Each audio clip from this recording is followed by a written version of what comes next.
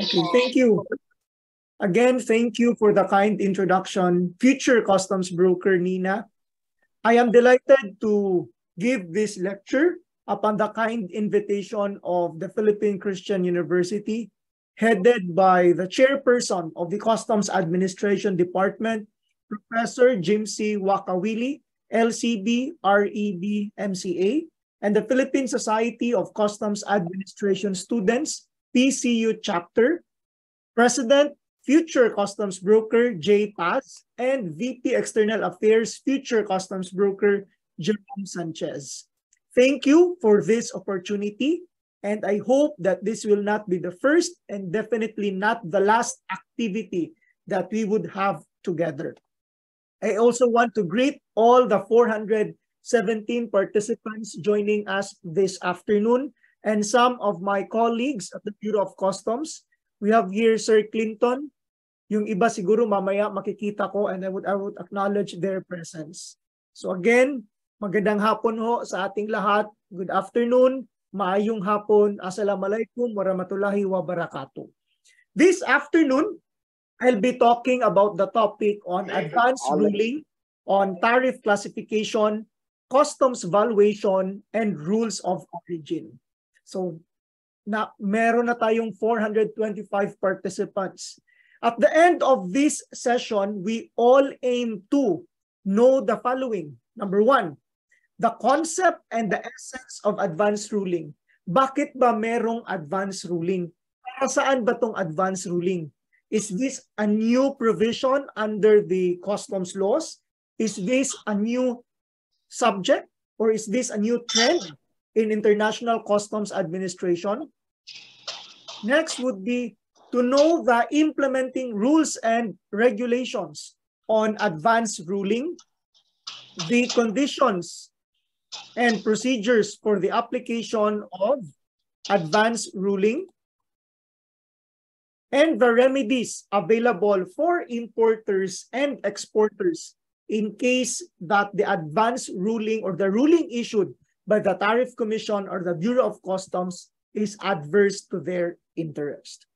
Before we proceed with the discussion proper, maybe some of us here are preparing for the licensure examination this coming November 2023 or are on their fourth year standing and will take the board examination in 2024. So let's see first the syllabus, the subject items or the important items that will be covered in the subject customs laws, rules and regulations, ethics, and customs broker practices. I suggest that as early as now, for those who are still in the first year, second year, and third year, you have to know the syllabus so that you would have the bird's eye view of what topics will be included in this subject and so that you would know what topics to highlight in your studies. The customs law subject is broken down into three parts. The first part talks about the essentials of customs administration. That comprises 40% of this subject.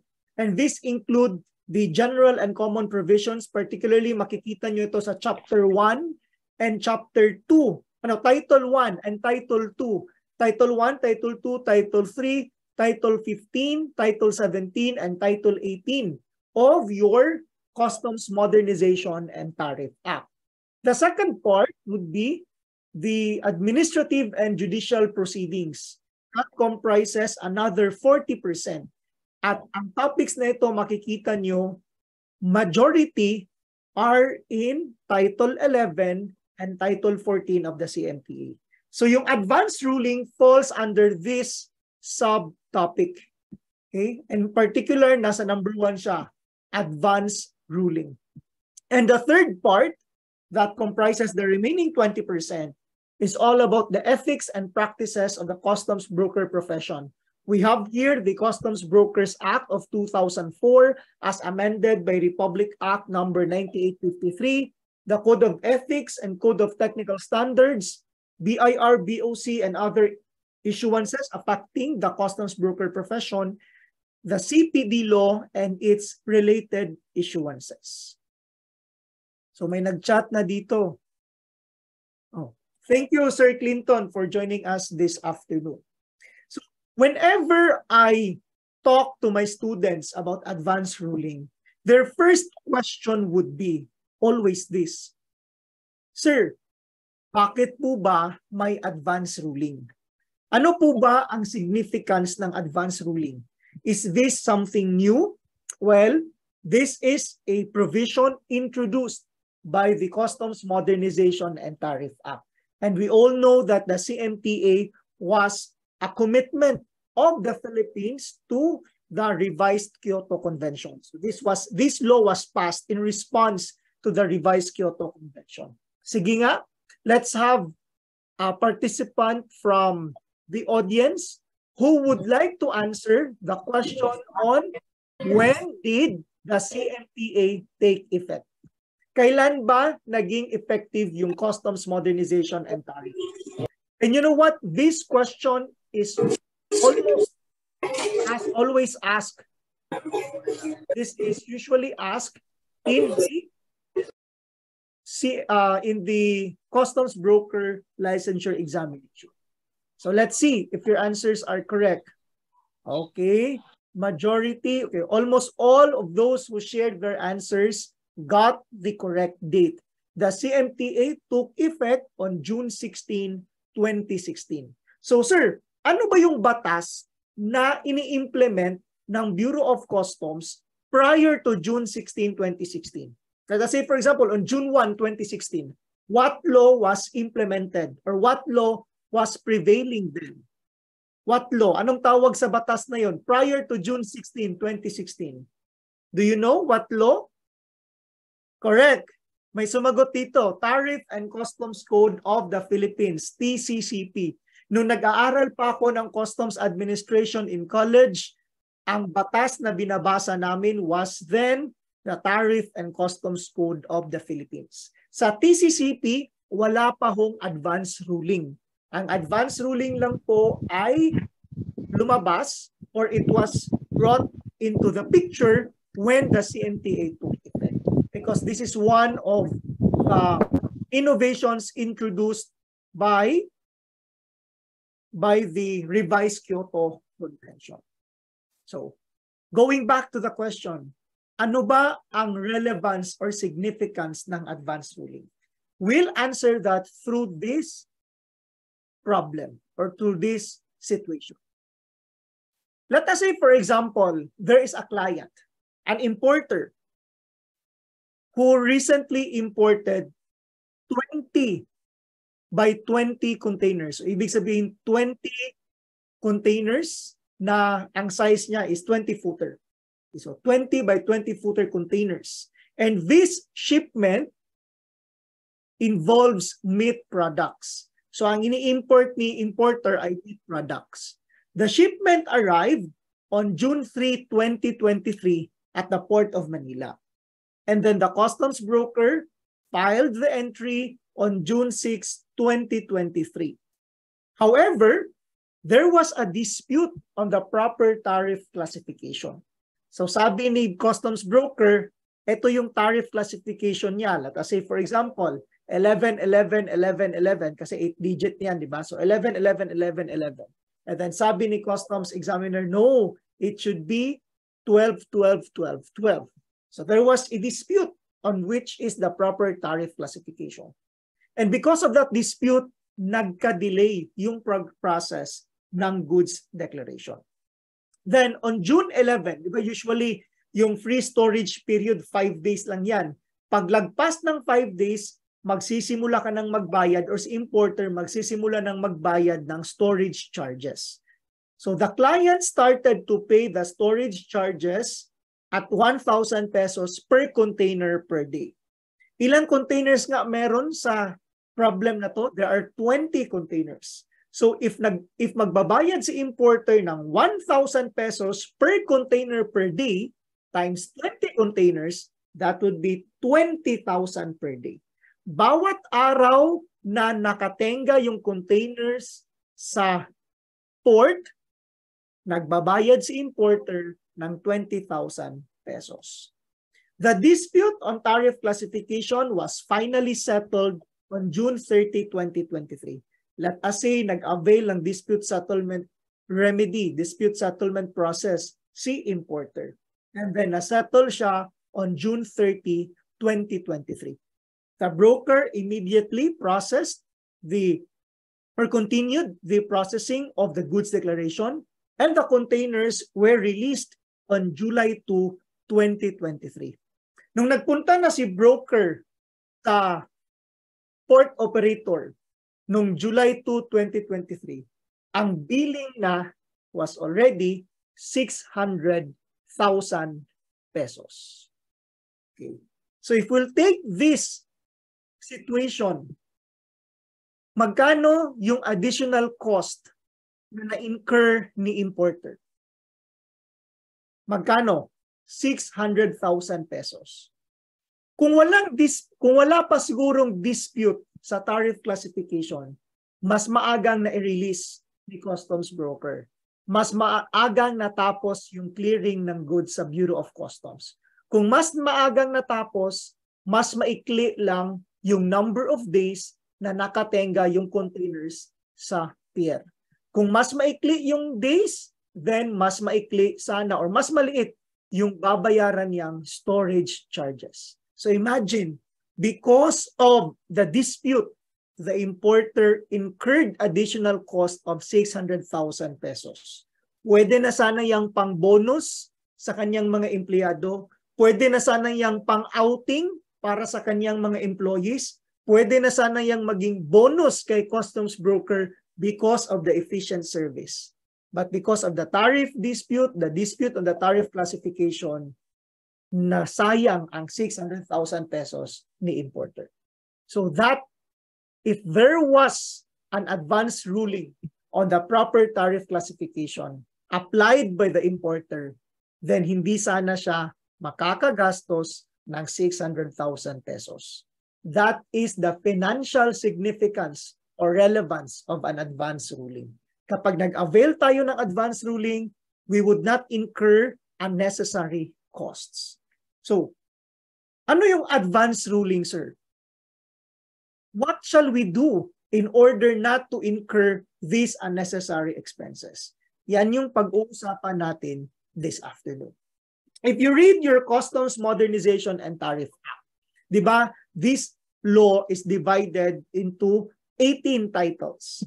It starts with Title 1, diba? Title 2 hanggang Title 18.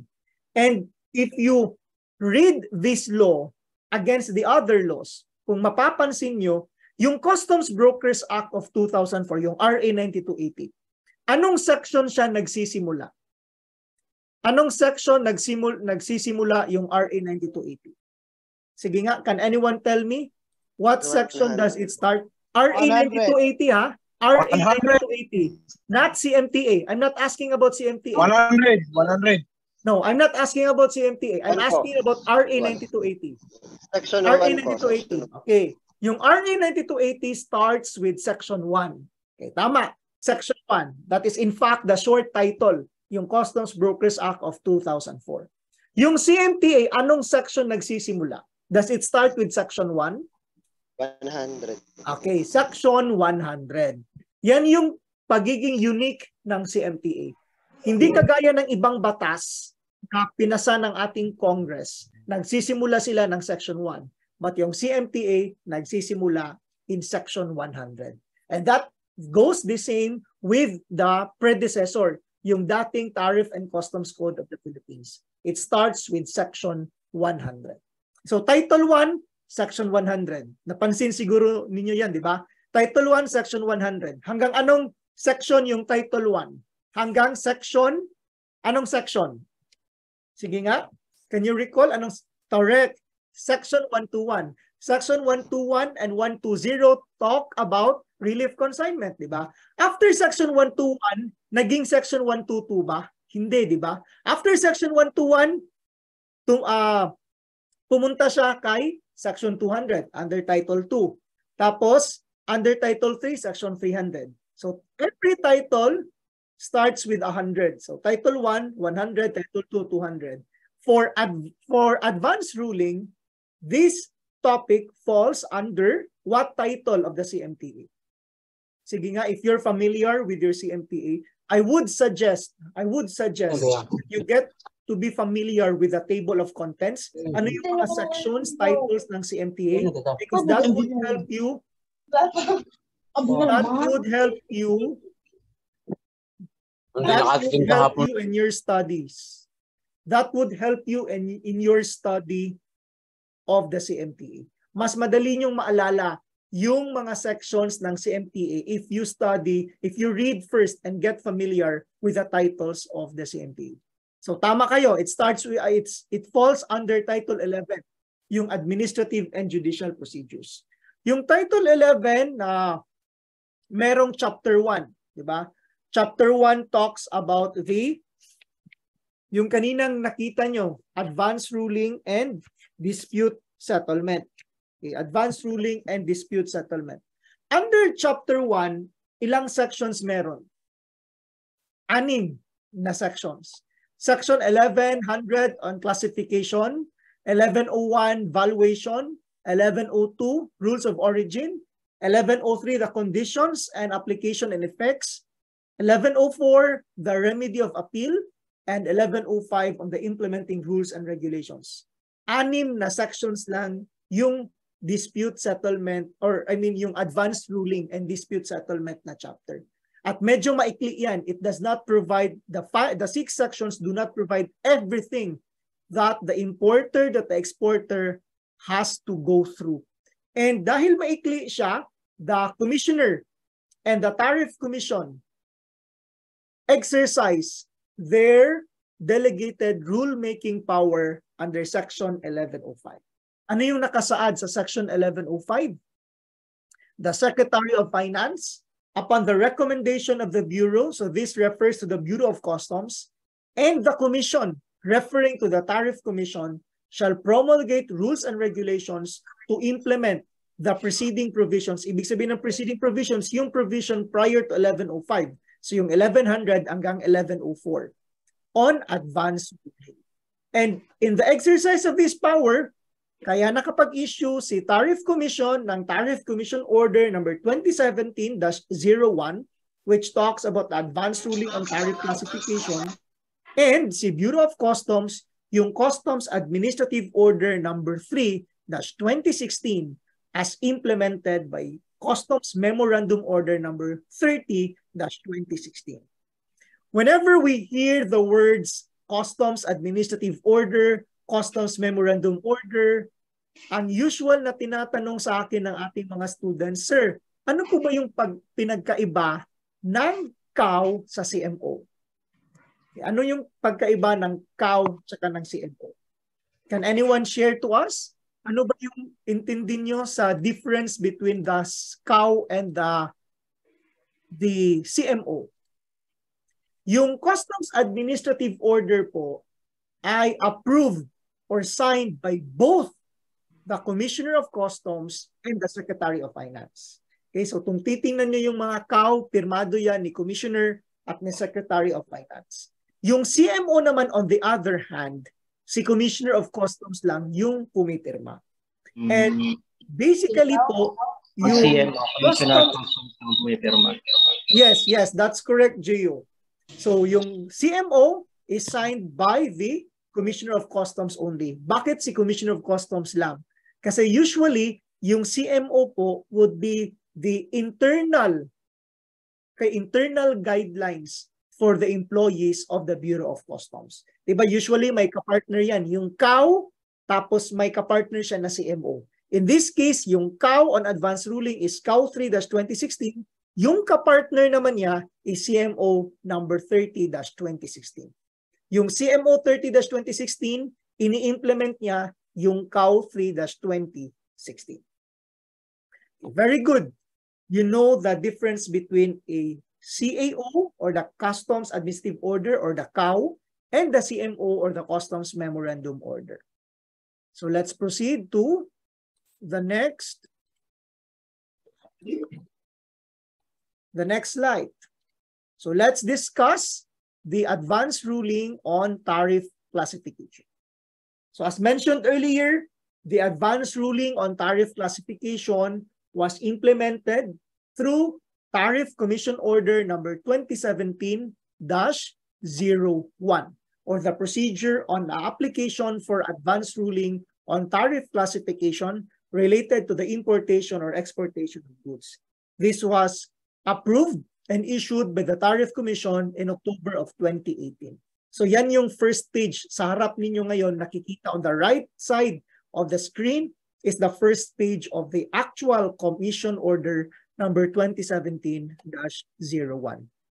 We are now 454 participants in the room. So thank you very much for all those who are joining us this afternoon.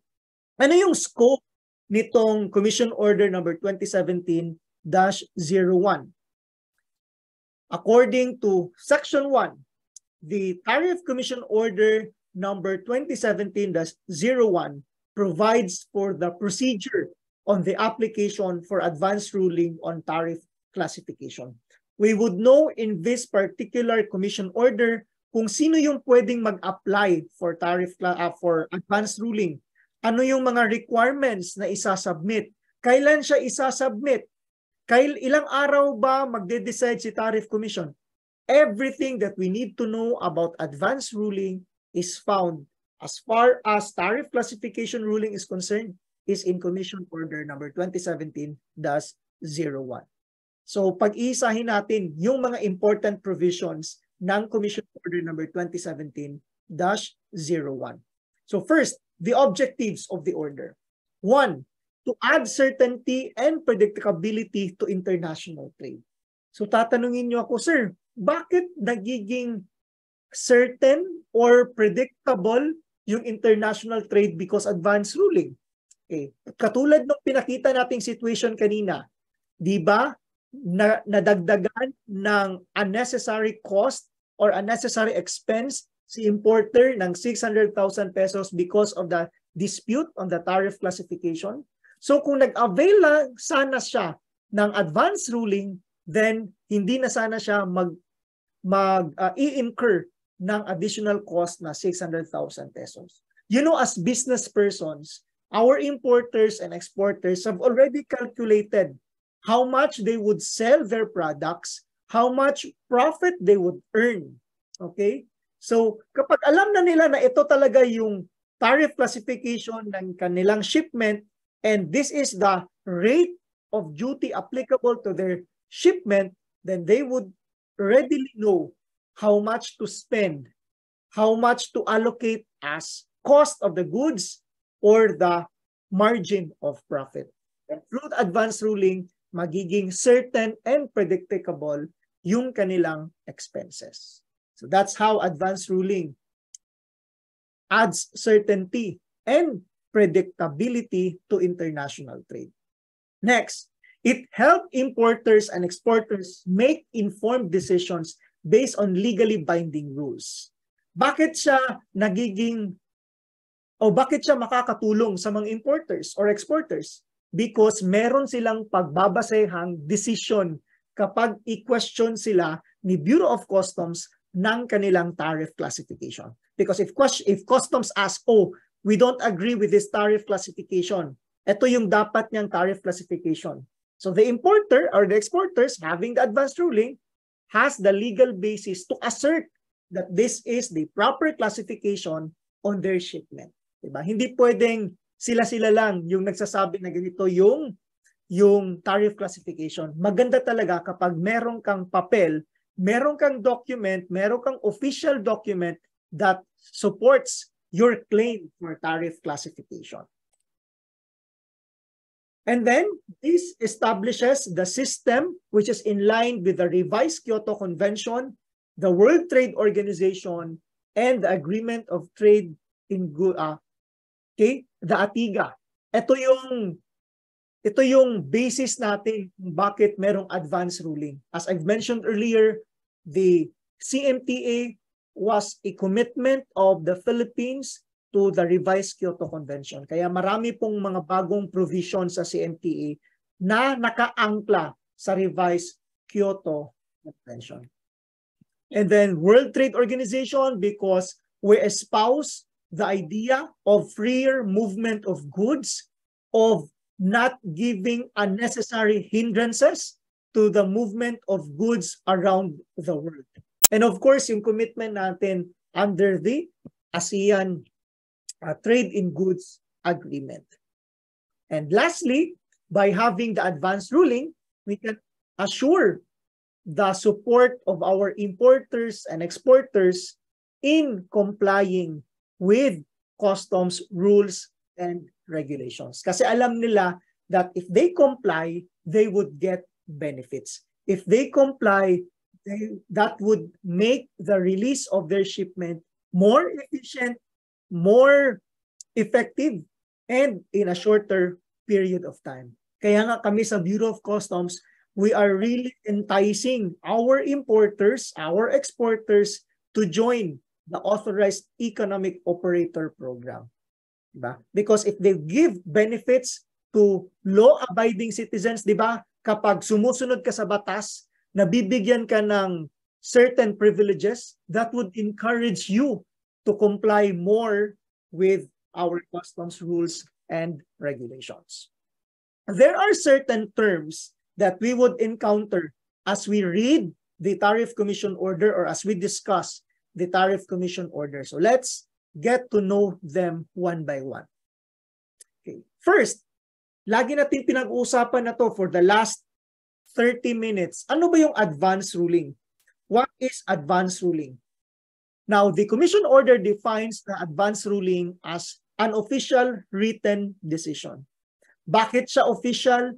Because it has a bearing. Pwede mo siyang gamitin as basis whenever you do certain actions as far as clearing of your goods and the tariff classification of your goods are concerned. It is in writing kasi hindi naman siya verbal. Okay? It's not a verbal decision. It is a written decision. And what makes it official? Because it is issued by the appropriate authority. Now, as far as the CMTA is concerned, yung meron pong authority to decide on what is the tariff classification or the proper tariff classification of the goods, nandyan ho yan sa Tariff Commission. And this official written decision provides the appropriate tariff classification of the goods. If I if you have time, I suggest that you visit the website of the Bureau of Customs or of the Tariff Commission. Makikita nyo doon yung mga advance rulings that the Tariff Commission has issued when it comes to tariff classification of the goods. And the word advance, okay, ba anong relevance ng word na advance? It means that the ruling is issued prior to the importation or exportation. Kaya nga later on, you would know there is a specific time frame within which you can apply for advance ruling. Kapag lumagpas na doon, you're no longer allowed to file for an advance ruling.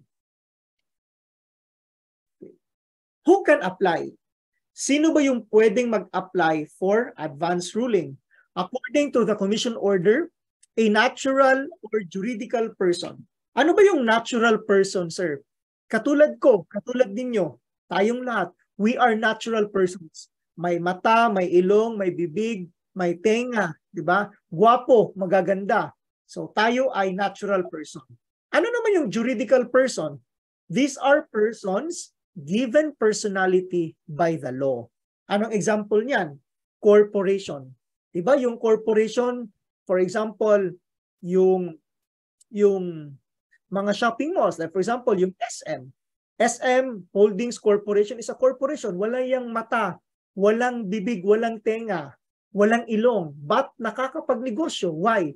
Because the law gives that entity a juridical personality. So pwede natural person, kayo, tayo, kung mag import tayo, mag-export tayo, then we can apply with the Tariff Commission. Yung ating pong mga juridical persons, corporations, partnerships, cooperatives, they could also apply for advance ruling. As long as they are engaged in the importation of the goods or in the exportation of the goods. Or kung hindi available yung mismong tao, then we could ask someone to be the representative. So meron pwedeng authorized representative. But take note, pag sinabi nating authorized, there should be a document proving the authority. And how is that authority proven? What do you submit in order for you to be to be to be said na authorized kayo by either a special power of attorney or kung natural person then special power of attorney or if a juridical person such as a corporation there should be a board resolution authorizing Mr. A or Mr. X to represent the corporation. Bakit to kailangan ng board resolution? So that we would know that that person is lawfully authorized by the corporation to transact on behalf of the corporation. Okay. What are the conditions? Diba binanggit natin kanina, there are certain things that you need to comply. What are these? conditions para makapag-avail ng advance ruling. Number one, your application must only involve one type of product. So let us say, for example, you plan to import, okay, you plan to import a pencil that gives you the correct answer.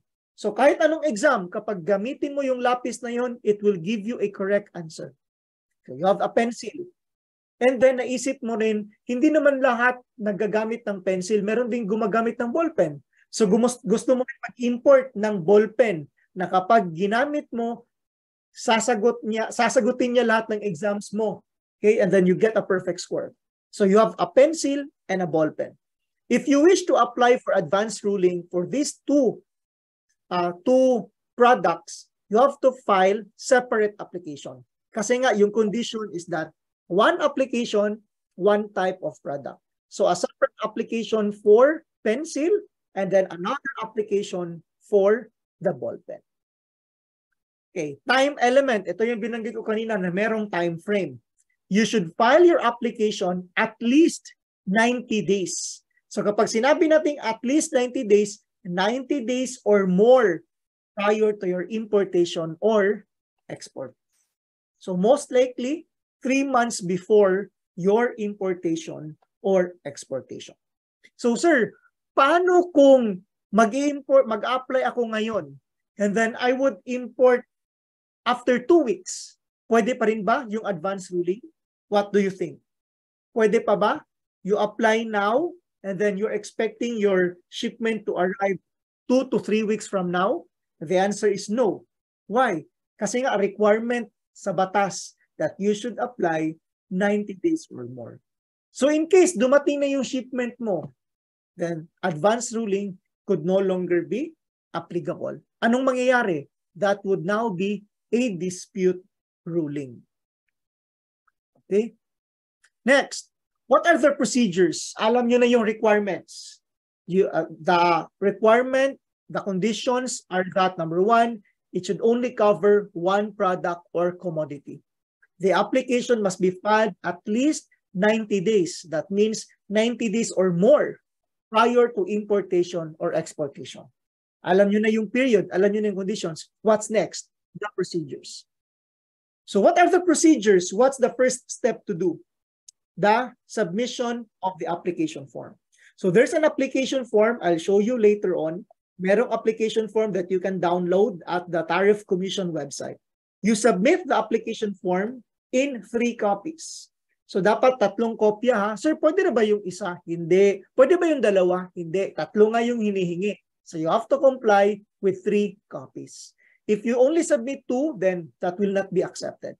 You have to strictly follow. Kapag sinabing tatlo, then three copies. Together with the application form, you include your supporting documents. Ano ba yung mga ano ba yung ma-considered na supporting documents? For example, if you have a picture of the product, then you include the picture. If you have a brochure of the product, you include the brochure. If you have the technical description, then you include the technical description. Kung may kulay, kung meron siyang um, size or measurement, then you include that in your supporting documents. When you submit your application with the Tariff Commission, i-assess ng Tariff Commission if nag-comply ka ba. So una, your your application only includes one type of commodity.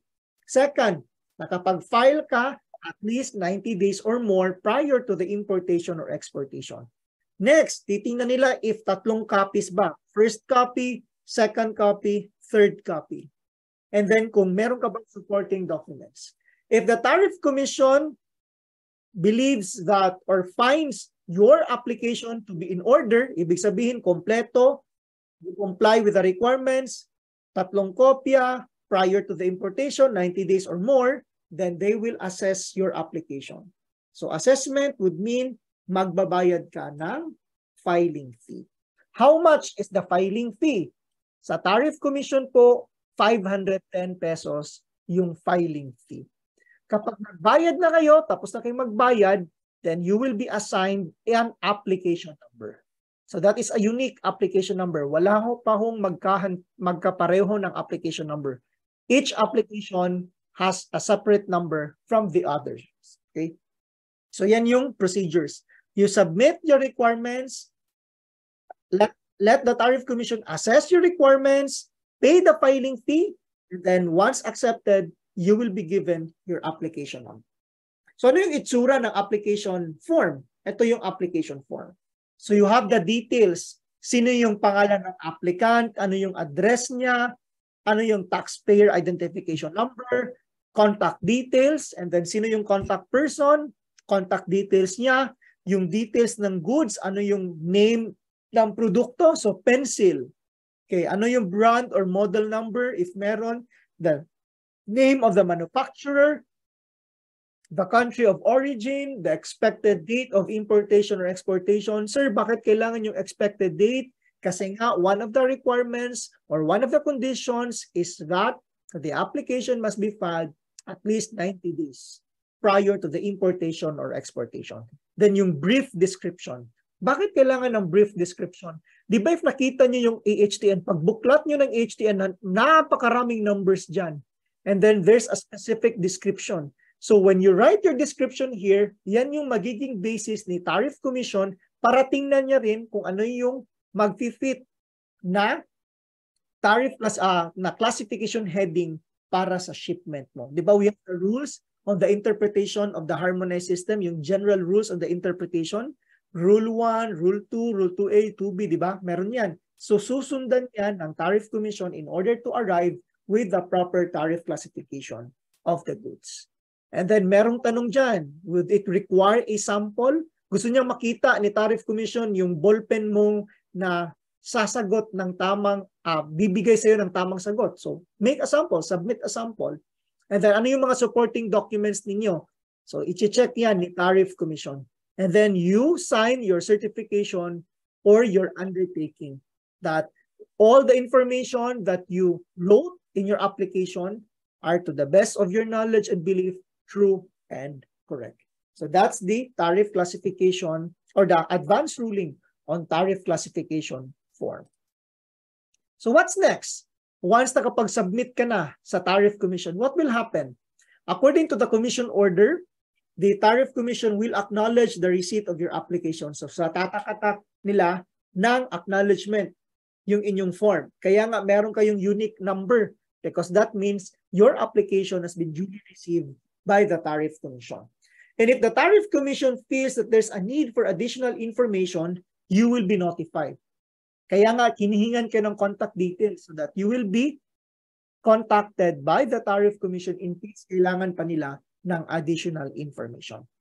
If gusto nila ng on-site verification, kung gusto nilang pupuntahan yung lugar ninyo, then they could also ask for an on-site verification. So in notifying you for the need of additional information or on-site verification, you will be given a specific period of time to comply with the requirements. And under the commission order, you have 10 days from receipt of the notice to either submit the additional information or to allow the conduct of the on-site verification. Okay. So, pwede din ba hindi tanggapin ni Tariff Commission yung inyong application. Yes. Ano yung grounds? Number one, when your application form is not in the prescribed form. Hindi yung ginamit niyo yung application form kanina dahil gusto niyong gumawa ng sarili niyong form. So, you will be denied outright by the Tariff Commission. Next, insufficient information or documents. You did not indicate the description of the goods. How will the Tariff Commission assess your goods kung hindi mo naman properly describe? Or wala kang inattach na picture, wala kang inattach na brochure, wala kang inattach na any other document to support your application. Then the Tariff Commission will deny or will not accept your application. Okay? Binibigyan mo lang sila ng sakit ng ulo. Okay? Or hindi ka nag-comply ng requirement na dapat one application, one type of commodity. Isang application, sampung goods yung inilagay mo. Then the Tariff Commission will not accept your application. Or late ka na nag-file. Diba, requirement natin kanina, it should be filed at least 90 days or more. Nag-file ka, 2 weeks na lang. So, the Tariff Commission may not accept your application. And lastly, gusto mo mag-avail ng service pero hindi ka naman nagbayad ng filing fee, that would also be a ground for non-acceptance. Take note that this provision, itong provision on advance ruling, merong mga requirements. And as an applicant, you have to strictly comply with these requirements. Otherwise, you may not be uh, able to avail of this advance ruling provision. So, tinanggap ng Tariff Commission. Pero pwede pa rin bang i-deny ng Tariff Commission? Kasi baka awayin niyo yung Tariff Commission. Oh, uh, tinanggap niyo naman tapos ngayon hindi i-deny niyo ba i-deny niyo lang din pala. So pwede ba? Pwede bang i-deny ni Tariff Commission yung inyong application? Yes. Okay, yes. When you fail to provide additional information. 'Di ba kanina binanggit natin that you, you submit it to the Tariff Commission. And then, once assessed, magbayad ka ng filing fee. Binanggit din natin kanina na if kailangan pa ni Tariff Commission ng additional information, you will be notified. Either email or tatawagan ka or susulatan ka. And you are given 10 days from receipt of the notice to comply with the additional information but you did not comply. So that's a ground for denial. Next, you were notified that the Tariff Commission will conduct on-site verification. Pero hindi mo naman sinagot yung Tariff Commission. That's also a ground for denial. So bakit dinideny nila? Kasi nga, they could not properly assess your goods because you failed to comply with providing additional information or allowing on-site verification. Next, yung application mo, meron na palang pending court litigation. Subject na pala siya to administrative review or appeal. So bakit i-deny? Because there might be a conflict. Like for example, if pending na yung case mo nasa Court of Tax Appeals. Okay? Meron ng pending case sa Court of Tax Appeals. And then magro-rule din yung Tariff Commission. What if mag-conflict yung decision ni Court of Tax Appeals tsaka ni Tariff Commission. That would that would also create another problem, di ba? Sino masusunod? Court of Tax Appeals or Tariff Commission? So in order to erase the possibility of any conflicting decisions kapag meron ng court litigation or pending na sa korte or subject to administrative review or appeal, the Tariff Commission will not issue a ruling in deference to the court or to the administrative office that has already acquired jurisdiction over the matter. Next, if there is misrepresentation, kapag merong pagsisinungaling, okay, meron kayong dineclare na information doon at napatunayan or nalaman ni Tariff Commission that it is not true, then that would also be a ground for denial. Why? Because nagsinungaling ka nga sa application mo, then the decision of the Tariff Commission may not also be reflective of the proper facts that you mentioned. Diba? So kung merong pagsisinungaling, syempre, yung decision niya would be based on false statements. That's why the Tariff Commission may deny your application for advance ruling. But you don't have to worry because if that if ever the Tariff Commission denies your application, you will be properly notified in writing para pwede nyo ring sagutin yung Tariff Commission sa kanilang denial. Okay, there's a question here. An applicant for an advance ruling decided to withdraw the application by just calling the Tariff Commission. So tumawag sa Tariff Commission, sabi niya, oh, Tariff Commission, meron akong application dyan for advance ruling. Hindi ko na itutuloy. Can the, can the applicant do that? Do you think the withdrawal is proper by just calling the Tariff Commission? Yes or no? What do you think?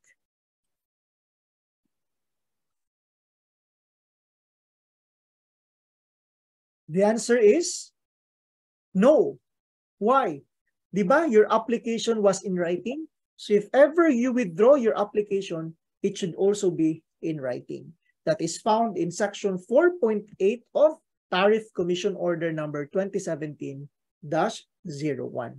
And if ever you decide to withdraw, the withdrawal must be made before the issuance of an advance ruling.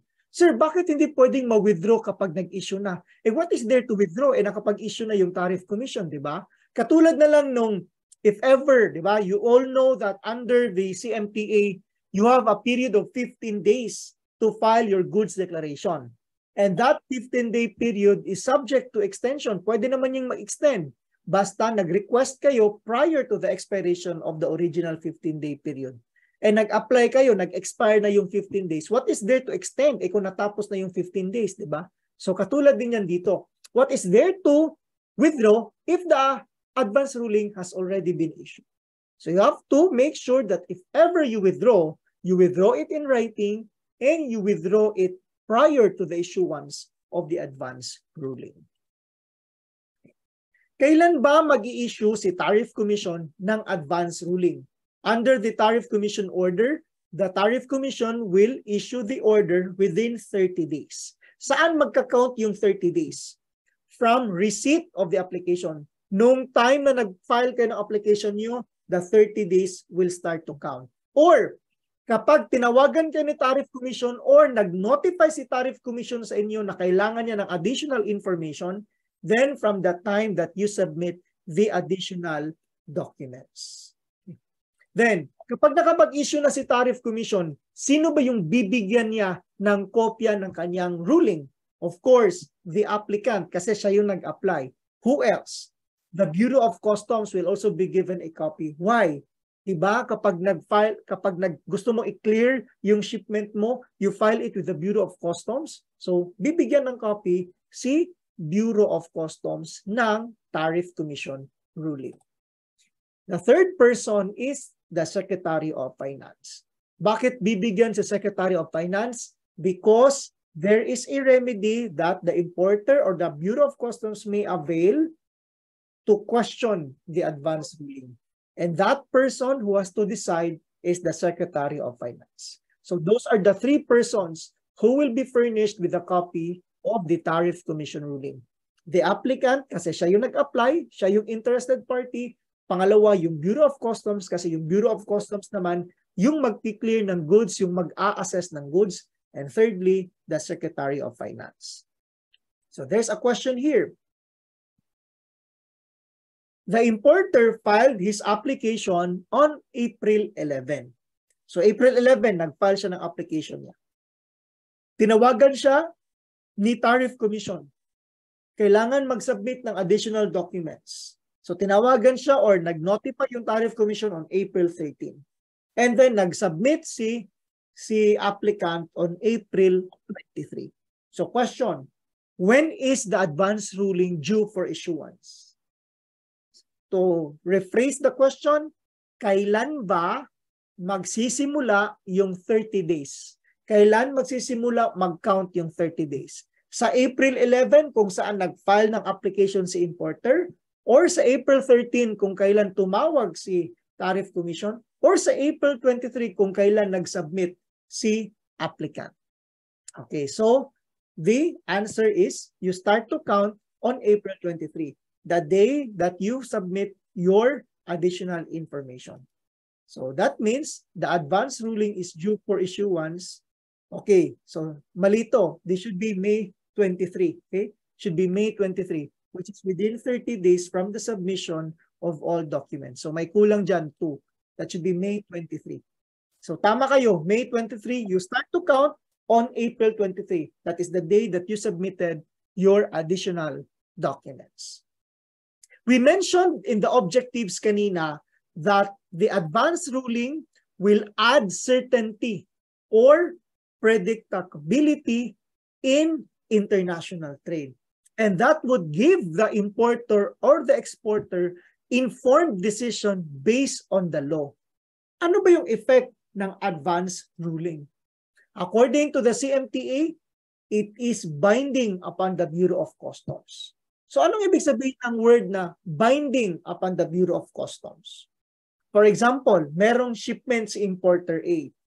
Nag-classify siya sa goods niya under heading 1990, uh, 90, 90, 90, 90. Ita, sabi ni Bureau of Customs, no, hindi ito.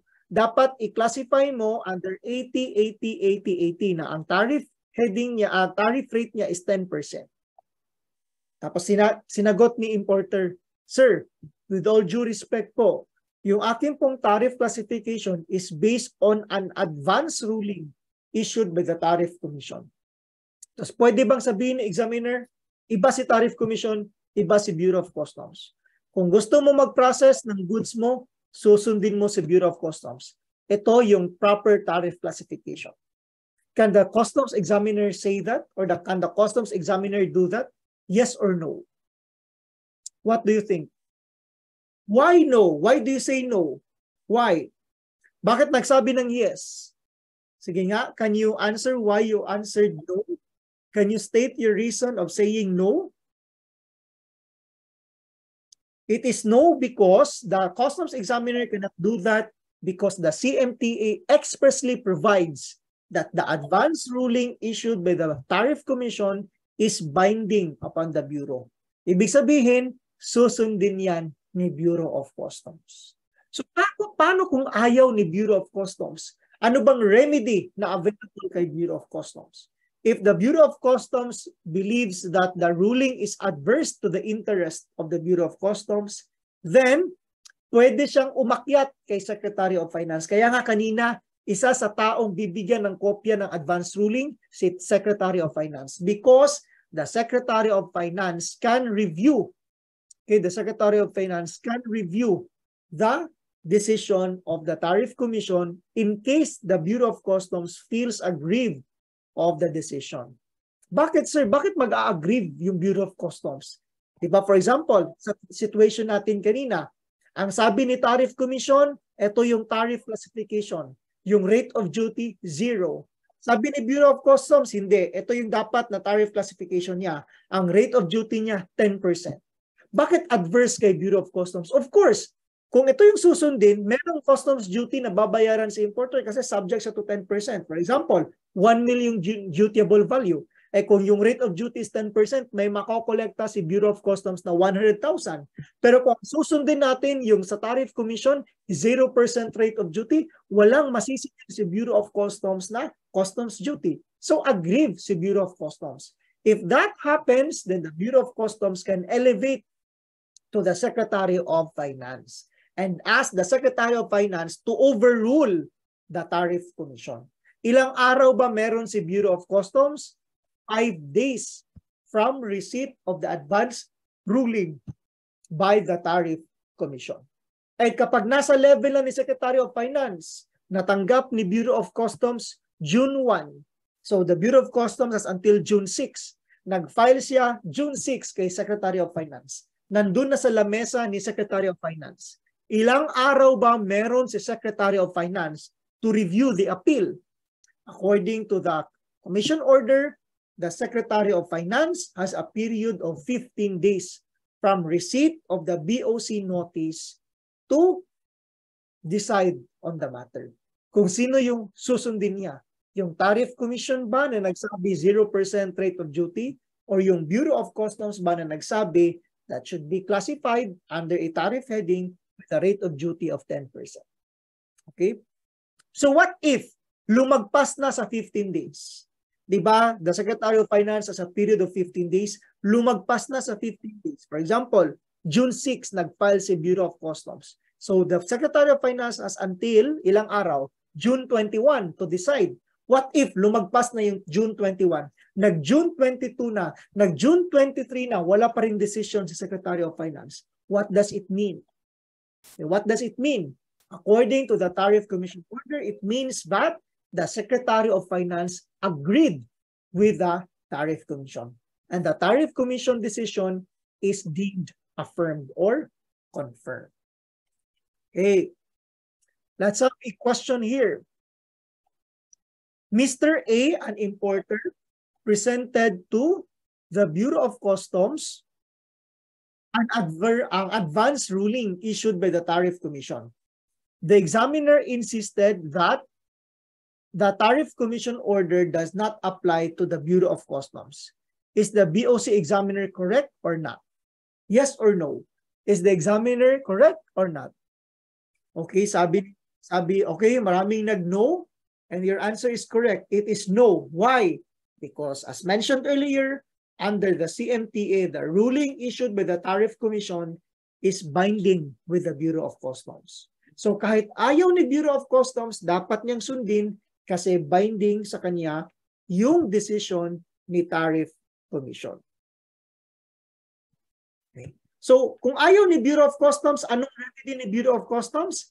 Elevate the matter to the Secretary of Finance within a period of five days. And the Secretary of Finance has 15 days from receipt of the notice from the Bureau of Customs to decide on the appeal made by the Bureau of Customs. Yung up, yung advance ruling, kailan ba siya valid? Hanggang forever? Kay hanggang magunaw ang mundo? Hanggang matapos ang mundo? No there is a limitation to the effectivity or validity of the advance ruling. Napakagaling ng ating mga estudyante dito. That is correct. Five years. Okay? Within five years. Saan tayo magsisimula ng magbilang ng five years? From the date of issuance. So the five-year period starts from the date of issuance merong bang pwedeng mas maikli pa sa 5 years? Yes. Or pwede bang hindi maging valid yung advance ruling sa period ng 5 years? Yes. Except when earlier revoke. Okay? Nag-release na si Tariff Commission ng ruling but na found out ni Tariff Commission na meron palang false representation, hindi pala totoo yung sinubmit ni ni importer then the Tariff Commission may revoke the advance ruling or may modify the advance ruling. Paano niya i-modify if there's a change in facts or circumstances? May nagbago. Yung lapis mo kanina na sinabi mo, sasagutin niya lang yung tamang sagot. Later on, napatunayan na wala palang sagot na tama doon sa sinade ng lapis mo. So there's a change in facts or circumstances. That's a ground for the modification of the tariff of the advance ruling. Next, when there is error, may pagkakamali or may nagbago sa batas. For example, yung ating general rules for the interpretation of the harmonized system, binago siya. Then of course, that would have an effect on the tariff classification. Kasi nga, yung tariff classification ruling was issued following the old rules. Eh ngayon, meron ng bagong rules. Then, of course, the advance ruling will also be correspondingly modified. Or, there's a judicial decision. Meron ng decision yung Korte Suprema na nagsabi na kapag yung lapis ang inimport mo, ito yung classification niya. Then that would prevail. Okay? That would prevail over the advance ruling issued by the Tariff Commission. Or there's a change in policy. 'Di ba? uh, the the HS the the harmonized system code change every five years, di ba? So we have the EHTN 2022. Then prior to that is the 2006. So kung yung tariff classification ruling mo was issued prior to 2022, pag pagdating ng bagong uh, tariff book in 2022, then there might also be a change in policy. So your advance ruling is also correspondingly modified. But the can the modification apply retro, uh, retroactively? What does it mean? For example, lumabas yung tariff classification ruling mo, yung advance ruling mo in 20, let us say 2022. Okay, January 2022. Tapos, nag-import ka hanggang December 2022. Dahil sa tariff classification ruling mo, wala kang binayarang customs duties from January 2022 to December 2022. And then nung nung June 2023 binago ng Tariff Commission yung advance ruling niya. Does that mean na nung nagbago yung advance ruling, o nagbago yung ruling ni Tariff Commission, sisingilin ka ni Bureau of Customs from January 2022 hanggang the date of your revocation? No, hindi ka na sisingilin ni Bureau of Customs because the modification applies prospectively. Ibig sabihin, it only applies from the time that you receive the information of the modification hanggang uh, sa susunod mong transaction. But yung dati mong transactions will no longer be disturbed because it only applies prospectively. Next, can the, administ uh, can the advance ruling be revoked? Of course. Kapag yung basis ng application mo ay false or misleading information. 'Di ba? If you recall in the discussion on police authority, or in search and seizure, meron tayong tinatawag na doctrine of the fruit of poisonous tree. Kapag yung search ay illegal, whatever evidence obtained cannot be admitted in any proceeding. Kasi nga, yung pagkuha mismo ng ebidensya, mali na. Yung pagkuha ng ebidensya, illegal na. So whatever evidence obtained cannot be used because it is illegal. Ganito din yan. Kung yung application mo nagsinungaling ka, at nag-decide si Tariff Commission based doon sa maling information mo, then the decision will also be misleading or false. Diba? Kapag yung isang bagay o yung ginawa mo ay nagsinungaling ka, whatever decision based on that false or misleading information will also be revoked. Kasi nga, yung decision was based on false or misleading information. Okay, the doctrine is, ah, ita-type ko na lang ah, the doctrine is the root of the poisonous tree doctrine. The fruit of the poisonous tree doctrine. Yan yung ibig sabihin yan, di ba? Sa search lang yan ha, it applies only to illegal search. Because under the Constitution, the requirement of the Constitution is that whenever a search is made or an arrest is made, there should be a warrant. That's the general rule. But there are exceptions, and one of which is the conduct of customs search. Under the CMTA, pwedeng mag-search si Bureau of Customs kahit walang search warrant kapag yung pupuntahan ay hindi bahay, di ba? The pers any person exercising police authority may enter pass through or search any place, any building, enclosure, warehouse, other than a dwelling house. Okay? At kapag dwelling house na yung pupuntahan niya, dapat meron na siyang search warrant. Under the Constitution, any evidence obtained in an illegal search cannot be admitted as evidence. Yan yung ibig sabihin ng doctrine of the fruit of poisonous tree. Kung yung mismong puno ay poisonous, so yung bunga niya poisonous rin. So kung yung pag-search mo ay illegal, kung ano man yung evidence na makukuha mo sa illegal search would also be illegal. Yan yung ibig sabihin ng doctrine of the fruit of poisonous tree. So kung i-apply natin dito, kung yung mismong pag-apply mo nagsinungaling ka at napaniwala mo yung tariff commission sa kasinungalingan mo, Later on, malalaman ng Tariff Commission na nagsinungaling ka, then the decision of the Tariff Commission can also be revoked on the ground that in the first place, nagsinungaling ka. Okay? And then, the revocation is without prejudice to the filing of criminal, civil, or administrative cases. For example, nag-submit ka ng document. Yung sinubmit mong document, fake. So, pwede kang makulong kasi nag-submit ka ng falsified document. Most especially if yung finalsify mo ay public document. Kunwari, nag-file, nag-submit ka ng permit from a regulatory agency na oh, mag-a-apply ako ng advance ruling. Ang doc ang ang ang goods ko or ang shipment ko ay regulated. Pero meron akong permit dito galing sa Bureau of Animal Industry.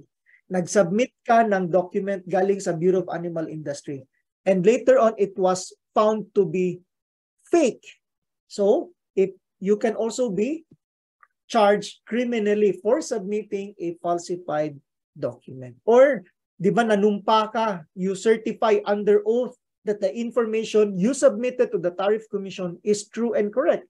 And later on, nalaman na hindi pala. So, you committed and you committed perjury. So, you can be charged criminally. Or, ikaw ang broker.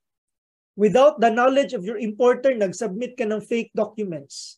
That is unethical practice, that is immoral practice, that is dishonesty. So, pwede ka ring ma-file ng civil case or administrative case before the PRC. Pwede kang matanggalan ng iyong lisensya. So that is what we mean here by without prejudice to the filing of criminal, civil, or administrative case. As far as your advance ruling application is concerned, marirevoke siya. And then if maki, mapa, mapapatunayan na meron kang additional civil criminal or administrative liability, then the corresponding cases can be filed against you, the applicant. Okay? Next, what if pininay ni Tariff Commission or nagbigay ng ruling si Tariff Commission but that is not favorable to the applicant? For example, si applicant nag-submit ng application with the with the intention na yung ruling ni Tariff Commission ay favorable sa kanya.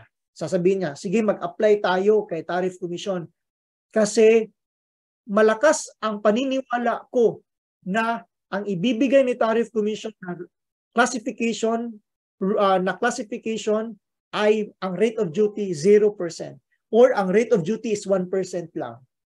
Nag-apply ka. Nung nag-apply ka, lumabas yung decision. Sa halip na yung tariff classification niya ay rate of duty ay 0 or 1%, ang binigay ni Tariff Commission 10% yung rate of duty. Sa halip na makapag uh, sa halip na mas maliit yung babayaran mo, mas lumaki pa kasi naging 10%. So that is unfavorable to the to the importer or to the applicant. Anong remedy ni applicant? Under the Tariff Commission order, pwede siya mag-file ng motion for reconsideration. Okay? So pwede mong explain doon sa application mo na bakit ito yung dapat na tariff classification sa goods mo. Pwede mong isubmit, for example, sa country of origin. Let us say, ang country of origin ay Japan. Yung importation, yung products mo galing sa Japan.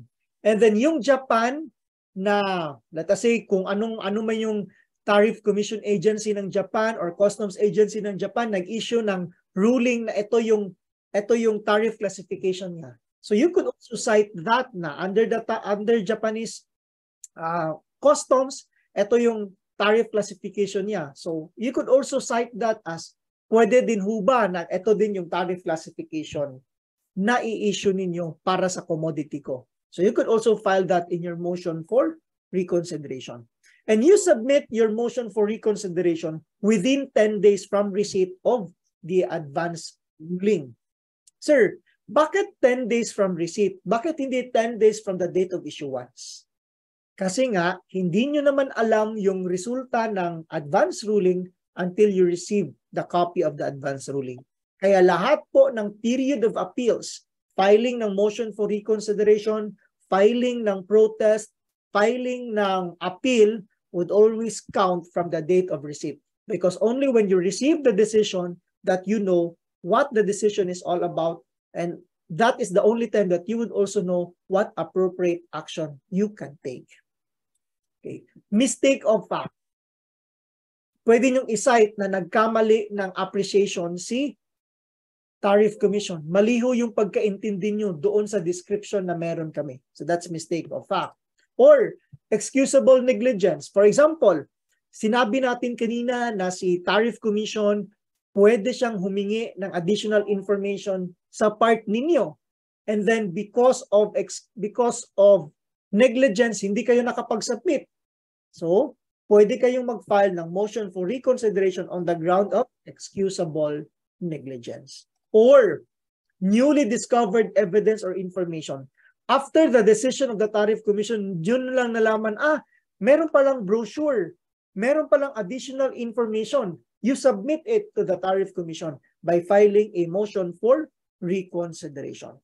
And once you file your, your motion for reconsideration, the Tariff Commission has a period of 10 days from receipt of your MR to decide.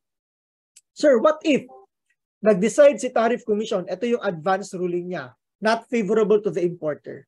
Within 10 days, nag-submit kami ng motion for reconsideration. Tapos nag-decide ulit si Tariff Commission, hindi pa rin siya nag-agree sa side namin. Pwede din po ba kaming mag-file ulit ng motion for reconsideration? So that means one motion for reconsideration, another motion for reconsideration. Can you do that? No. Under the commission order, only one motion for reconsideration is allowed.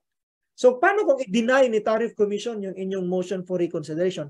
There is another remedy. Okay? So ito, on April 20, the Tariff Commission issued the advance ruling. The importer received the ruling on April 25 but was not satisfied. Hindi siya nakontento kasi sa tingin niya, hindi ito tama. What is the remedy of the importer? Sige, what do you think is the remedy of the importer? The remedy of the importer is Okay? Correct. File a motion for reconsideration. Kailan? Ilang araw meron? 10 days. So file a motion for reconsideration not later than May 5. On what ground?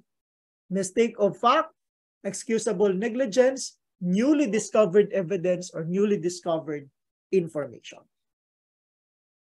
Okay?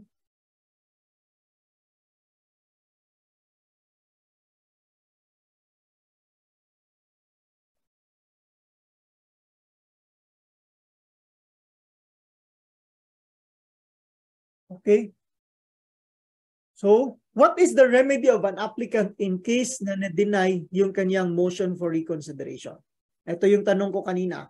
What do you think is the remedy of the importer in case of denial of the motion for reconsideration. So kapag na-deny ni Tariff Commission yung inyong motion for reconsideration, your next remedy is to file an appeal to the Court of Tax Appeals. So punta ka na sa Court of Tax Appeals. Within how many days? Within 30 days from receipt of the decision denying the MR. So ang remedy mo dyan is petition for review to the Court of Tax Appeals. Okay? So, that ends our presentation as far as tariff classification is concerned. We move on to the next advanced ruling. Ano yung next? Customs valuation and rules of origin. So, ang jurisdiction po ng Tariff Commission will only be tariff classification.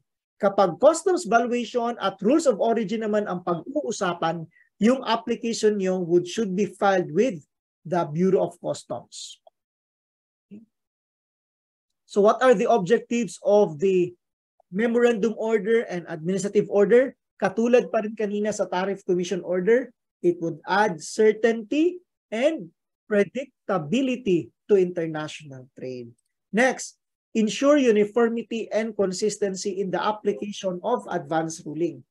Establish a system in line with the revised Kyoto Convention the World Trade Organization and the ASEAN Trade in Goods Agreement increase the level of compliance. So magkahalintulad do yung objectives ng Commission Order number 2017-01 kanina at saka ng Customs Administrative Order and Customs Memorandum Order number 30-2016. So let's define some terms. Yung advance ruling, magkahalintulad din ho sila kanina sa Tariff Commission. It's an official written. Ang definition lang ng Tariff Commission is an official written decision, di ba?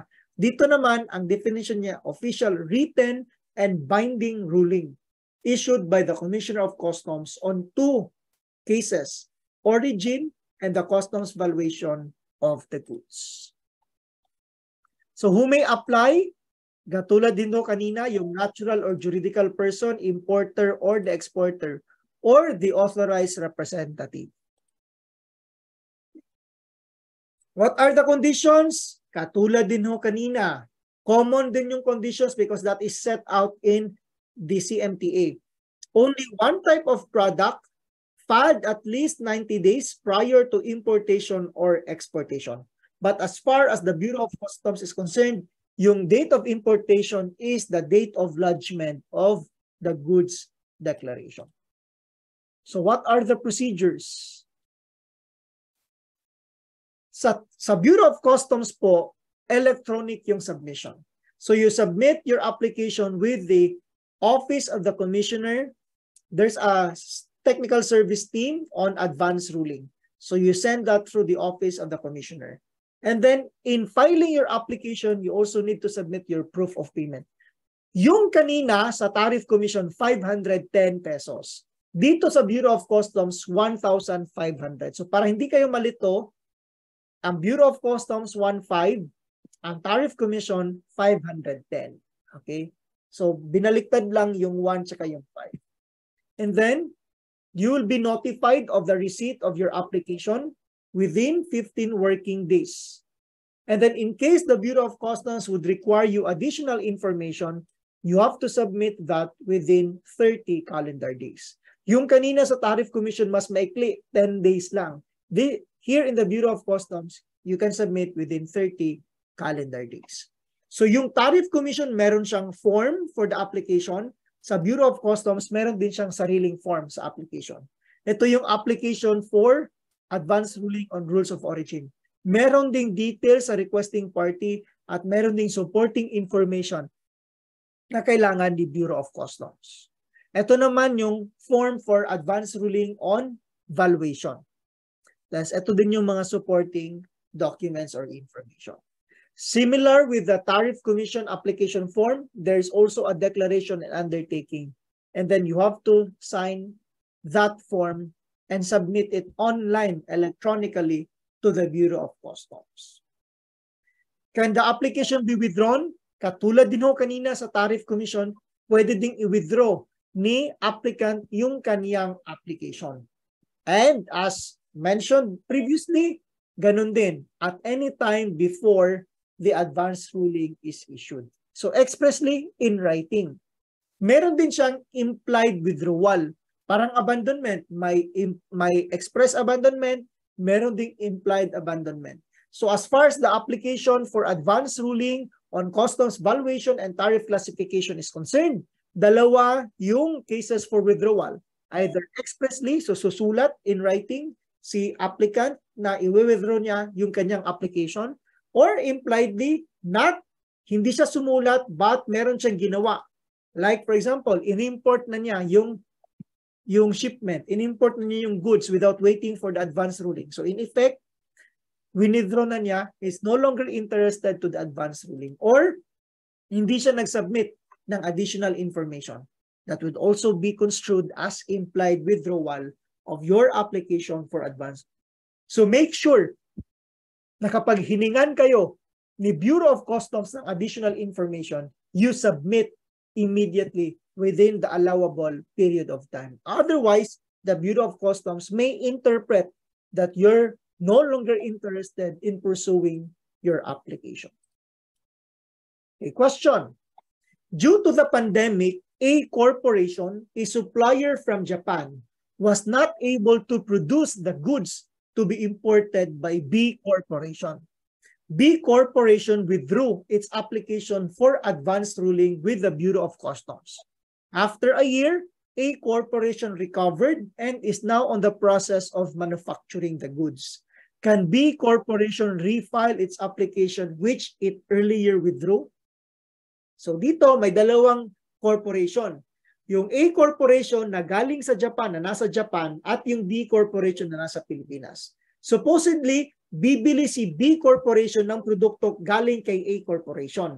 At bibili siya prior sa kanyang bilhin, mag-file siya ng application for advance ruling. But dahil nagka-pandemic, hindi natuloy yung order niya kay A Corporation. So, hindi niya rin tinuloy yung kanyang application. Later on, nagsimula ulit si A Corporation na mag-produce ng kanyang produkto at itutuloy na ni B Corporation sa Pilipinas yung kanyang plano na mag-import. So question, nag-withdraw na sa dati, pwede niyo rin bang i-refile o mag-file ulit ng application? Yes or no? Okay? So, tama kayo. Yes. A withdrawal of the request shall not prohibit the filing of another request. But take note, you still have to comply with the conditions earlier. Dapat ganun pa rin yung filing at least 90 days prior to the importation or exportation. The application must only involve one type of good or commodity.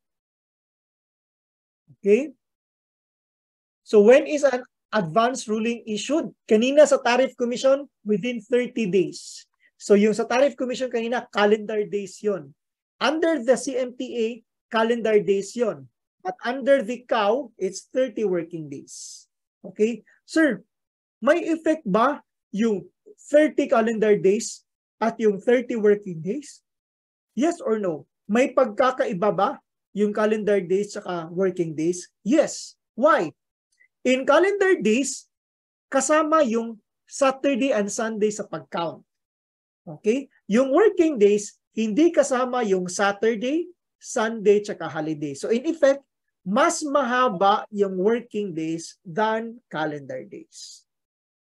So, ano yung effect niya kay importer? Mas mahaba yung paghihintay ni importer or ni exporter kasi 30 working days yung binibigay sa Bureau of Customs and the 30 working days starts to count on the date of receipt of the request or the date of receipt of the additional documents. Di ba kanina binanggit natin, pwedeng mag-require si Bureau of Customs ng additional information. So the 30 working days will start to count from the date that you submit the additional documents. Pwede din bang hindi tanggapin? Yes. Katulad kanina sa Tariff Commission, pwede niyang hindi tanggapin yung inyong application kapag hindi ka nagbayad ng filing fee. Kapag multiple goods yung ini-file nyo, kapag hindi nasa tamang form yung pag-file nyo, dito, pwede din hindi tanggapin ni Bureau of Customs kapag meron na siyang pending administrative review. Okay? Or pending kayo ng post-clearance audit, hindi muna kayo pwedeng mag-apply. Or meron ng previously issued advance ruling on the same subject goods. Or ang sinabmit nyo kay Bureau of Customs hypothetical situation lamang. Ibig sabihin, hindi kayo, wala kayong intention na mag-import. Gusto nyo lang mag-apply. So that is a ground for non-acceptance. Why? Why do you think the Bureau of Customs will not accept your application if it is only based on a hypothetical situation? Why? Kasi sayang lang yung decision niya, eh hindi naman kayo totoong mag import or mag-e-export.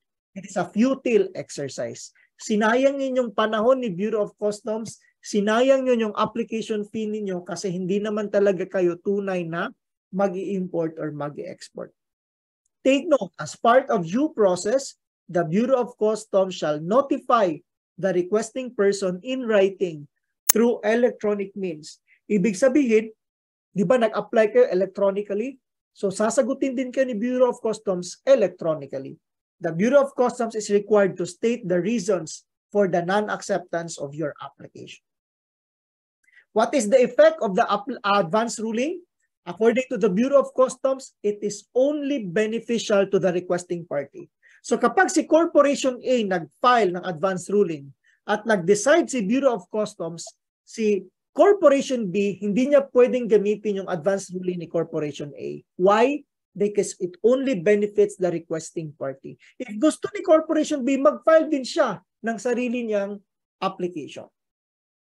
Next, it takes effect on the date of issuance. So it will if take effect on the date of issuance unless another date is, is specified. When is it valid? Sa Tariff Commission, mas mahaba, 5 years. Dito sa Bureau of Customs, 3 years lang from the date of issuance. Except kung a shorter period is provided. For example, pwedeng sabihin ni Bureau of Customs, 1 year lang to valid, 6 months lang to valid, 2 years lang to valid. Pwede yan kasi allowed siya under the Customs Memorandum Order. Can the advance ruling be modified? Yes, kapag may clerical error kapag may change sa material facts and circumstances or when there is misleading information, okay, excusable neglect or honest mistake or change in applicable law, and the modification applies prospectively. Okay? Next, can the advance ruling be revoked? Yes.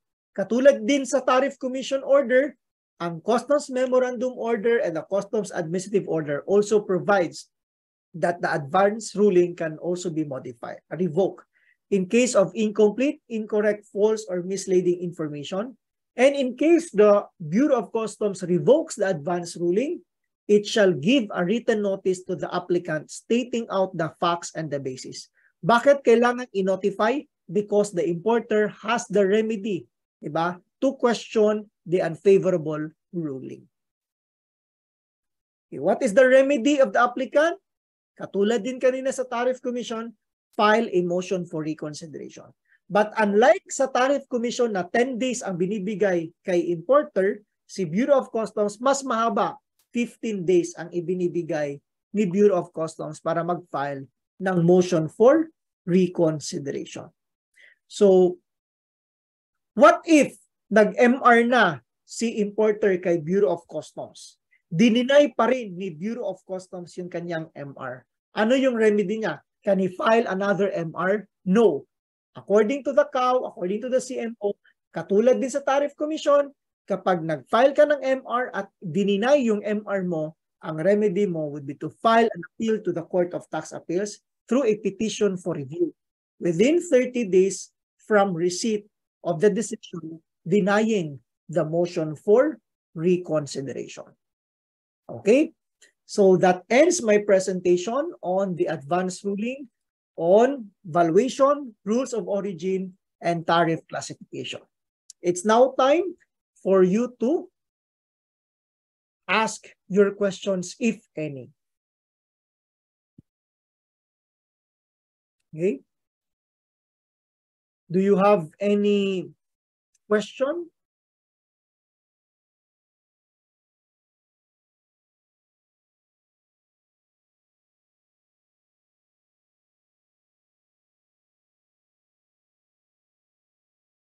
Meron bang tanong?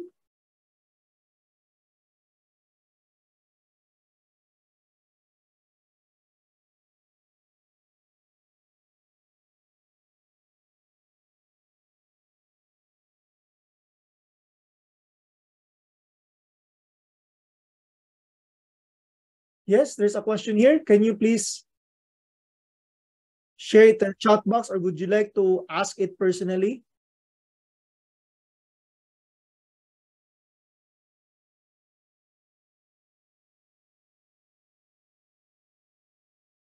Any question from the audience or from the participants?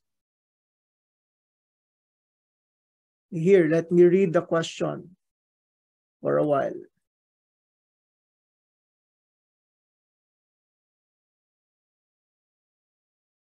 Okay, there's a question here. Is it required for advance ruling? No, it's not required. It's an option. Okay, it's an option available to the importer. Katulad ng pinakita ko sa inyo kanina, if you do not want to incur unnecessary expenses kasi mas matatagalan yung pag-process ng shipment ninyo, then you can avail of advance ruling. Kung na-foresee nyo na magkakaroon ng problema sa classification, sa valuation or sa application ng rules of origin, then you might avail of advance ruling. So again, it's not requirement. It's not a requirement. It is just a possible remedy on the part of the importer. May question dito, when po ba ulit yung in ating webinar? Then let's schedule. Okay, let's schedule. Ito naman yung webinar natin ngayon is because of the invitation of the Philippine Christian University. So, sa susunod, baka meron ulit mag-invite or meron tayong initiated na webinar, then we will let you know. Sir, what if meron na hong advance ruling tapos hindi itinuloy ang importation? Anong mangyayari sa advance ruling? Then it would have no effect. Okay? It would have no effect. Kasi nga, wala namang importation na mangyayari. There is no situation, there is no importation or exportation that you can apply the advance ruling. So wala siyang effect. Wala siyang effect. Okay? Sir, may instance po ba na nag-take ng sample si Tariff Commission to determine the correct description of the item subject to advance ruling? Ito, I have not heard of of an instance where the Tariff Commission sought the uh, the copy of a sample or a sample from for advance ruling but sa dispute ruling meron na meron na kaming natanggap na mga request gan ng ganyan kasi kapag si Tariff Commission nagko-communicate kay importer nagno-notify din siya kay Bureau of Customs but if we apply it okay if we apply it by analogy kung sa dispute ruling nanghihingi ng sample si Tariff Commission, most likely nanghihingi din si Tariff Commission ng sample sa advance ruling. All the more sa advance ruling kasi nga advance siya, di ba, prior to the importation or exportation. So walang makikita na actual importation si uh, si import si Tariff Commission. So manghingi talaga ng sample. Okay? John, when it comes to computation, uh, just send me a message sa aking Facebook page. Okay? I'll try to answer your question on computation but let me just have a disclaimer. Ang field of specialization ko po ay customs laws and procedures. So hindi po hindi ko po field yung yung computation but I will try to answer your question on computation. So please send it through my Facebook page. And then I'll ask some of our professors who are also into the field of computation. So, hingi ako ng tulong sa kanila tungkol doon sa computation problem mo. Sir, pwede po bang magamit yung advance ruling na issued na ng tariff commission by different company but same commodity? My answer to that would be pwede kasi hindi naman siya dineclare or sinabi sa tariff commission order na bawal unlike sa tariff commission na uh, unlike sa Bureau of Customs na binanggit expressly doon sa CAO tsaka sa CMO na the advanced ruling shall only benefit the applicant. Okay, unlike sa BOC kasi sinabi niya it will only benefit the applicant. Doon sa tariff commission order hindi hindi expressly na sinabi na it will only benefit the applicant. So since hindi naman expressly na sinabi, pwede rin yung gamitin ni ni ni, com, ni other company, okay? Yung kanyang advance ruling. But of course, pwede din yan kapag binigay mo na yan kay Bureau of Customs, pwedeng sabihin ni Bureau of Customs, it does not apply to you kasi hindi naman ikaw yung importer. Okay? But it does not prevent you from doing it kasi hindi naman expressly na ipinagbawal sa tariff commission order na gamitin ng ibang uh, ng ibang party other than the applicant himself or herself. Sir, anong pagkakaiba ng motion for reconsideration at motion for reinvestigation? Okay. Etong, tang, etong tanong na to, pang post-clearance audit na to. But sige lang, I'll answer it. Sa post-clearance audit kasi, meron tayong request for reinvestigation, meron ding request for reconsideration. Anong pagkakaiba nila? Yung request for reinvestigation, that would require the person requesting to submit additional documents. Sa request for reconsideration, walang additional documents na kailangan. Gusto mo lang baguhin yung decision ni PICAG. Gusto mo lang baguhin yung audit findings ni PICAG. Kapag request for reinvestigation, you submit additional documents. Okay? Yan yung pagkakaiba nila. Request for reinvestigation, magsasubmit ka ng additional documents. request for re uh, request for reconsideration, no need to submit additional documents. But as far as advance ruling is concerned, wala ho tayong motion for reinvestigation. Motion for reconsideration lang ho ang meron tayo. Sir, what if na-accept po yung appeal sa city? Ano po yung magpe-prevail? The Court of Tax Appeals decision prevails over the Tariff Commission ruling or the Bureau of Customs ruling. Bakit? Kasi nga, yung Court of Tax Appeals, appellate siya. May appellate jurisdiction siya. Yan yung mismong uh, yan yung mismong purpose kung bakit ka mag-a-appeal para yung decision ni Tariff Commission or yung decision ni Bureau of Customs na hindi favorable sa iyo baguhin siya at maging favorable sa iyo. So in case the, the Court of Tax Appeals renders a decision, that decision prevails over the Tariff Commission's order or the Bureau of Customs orders. Sir, if the examiner neglects the advance ruling or ginigipits importer, kanino po pwedeng umangal si importer? Okay. Kapag ganyan, you avail of the dispute ruling under Customs Administrative Order number 2 2020. Kapag ayaw na examiner, elevate it to the appraiser. After appraiser, pag ayaw pa rin appraiser, elevate it to the chief of the assessment division. So in that case of the ports in Manila, so yung formal entry division or informal entry division. At kung ayaw pa rin ng hepe ng formal entry division, you elevate it to the deputy collector for assessment. Pag ayaw pa rin, elevate it to the district collector. But take note, you can always cite the express provision of the CMTA that says the advance ruling issued by the Tariff Commission is binding with the Bureau of Customs. So yan yung isa sa inyo. Yan yung inyong uh, stand that the decision on the advance ruling is binding with the Bureau of Customs. Sir, uh, Sir, if mag-refile ka po ba ng AR, will you still be paying another filing fee? Yes. Yes one application, one filing fee. So kung mag-re-reapply ka, that is another application. So bayad ka ulit ng filing fee.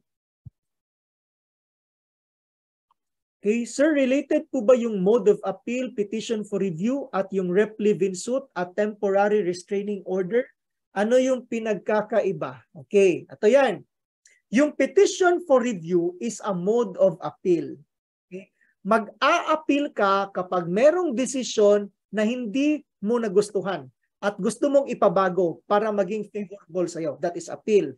Yung replevin suit naman, that is a civil action kapag merong bagay, personal property na kinuha sa iyo at gusto mong bawiin. For example, yung sasakyan, okay? Kinuha sa iyo, gusto mong bawiin, then you file a replevin suit.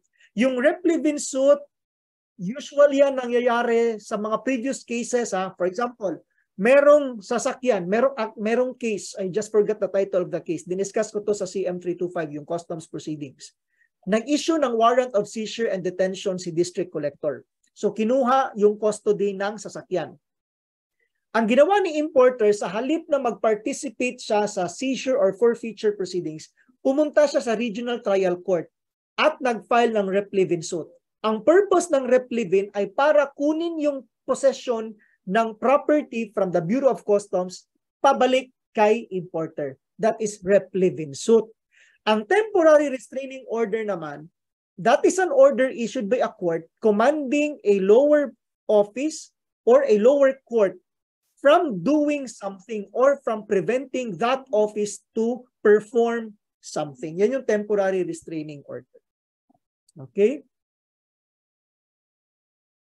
Sir, OJT student po kami, nasabi po sa amin na lawyer lang ng client ng broker supervisor yung nagfa-file ng advance ruling. Hindi po ba pwedeng mag-file yung broker? Okay, let me clarify it. Under the Tariff Commission Order, ang sabi, any person who is authorized in writing by can apply for advance ruling. So kung si broker binigyan ng authority ni importer through a special power of attorney or through a board resolution na pwede siya yung mag-represent kay importer in filing before the Tariff Commission or the Bureau of Customs, pwede. Well, hindi naman po sinabi sa sa Tariff Commission na lawyer lang ang pwede, di ba? If you read the Tariff Commission order, hindi naman sinabi any natural or juridical person or lawyer will file the application for advance ruling. Ang sinabi lang doon, any natural or juridical person or authorized representative. Generic yung pagka-term, authorized representative. Kahit hindi broker, kahit hindi lawyer, kahit empleyado lang ni importer, pwedeng mag-file ng application for advance ruling. Okay, how many products or items should an advance ruling cover? One type of commodity only. One type of commodity lang. What are the benefits of advance ruling on customs? Siguro ang ibig nyo sabihin, a benefit sa customs valuation. Yun, number one, it will give you uh, predictability or certainty kasi alam mo, ito talaga yung value ng goods mo. Di ba? Kapag alam mo na, katulad ng gani, katulad nito, let's say for example, mag-e-enroll ka sa isang review center. Di ba, mas maganda kung yung review center or yung paaralan nagbibigay ng advance information sa Facebook or kung whatever means available, ilalagay na niya kung magkano yung babayaran mong tuition fees. Why? Kasi ikaw, alam mo na magkano yung babayaran mo sa school na yan, di ba? Ganon din yan sa tariff classification, advance ruling, ng valuation and rules of origin. That will give you an information na, ah, ito pala yung babayaran ko. Ito pala yung value ng goods ko. Ito pala yung rate of duty ko. Ito pala yung, ah, pwede pala ako mag-avail ng, ng tariff, ah, ng preferential tariff kasi pasok siya sa originating requirement. Di ba? It adds uh, predictability and certainty on your part na ito lang pala babayaran ko. So that is the most essential benefit, okay, the number one benefit on the part ni importer or exporter. Sir, alin po ba mas maganda, BOC or Tariff Classification Advance Review? Depende.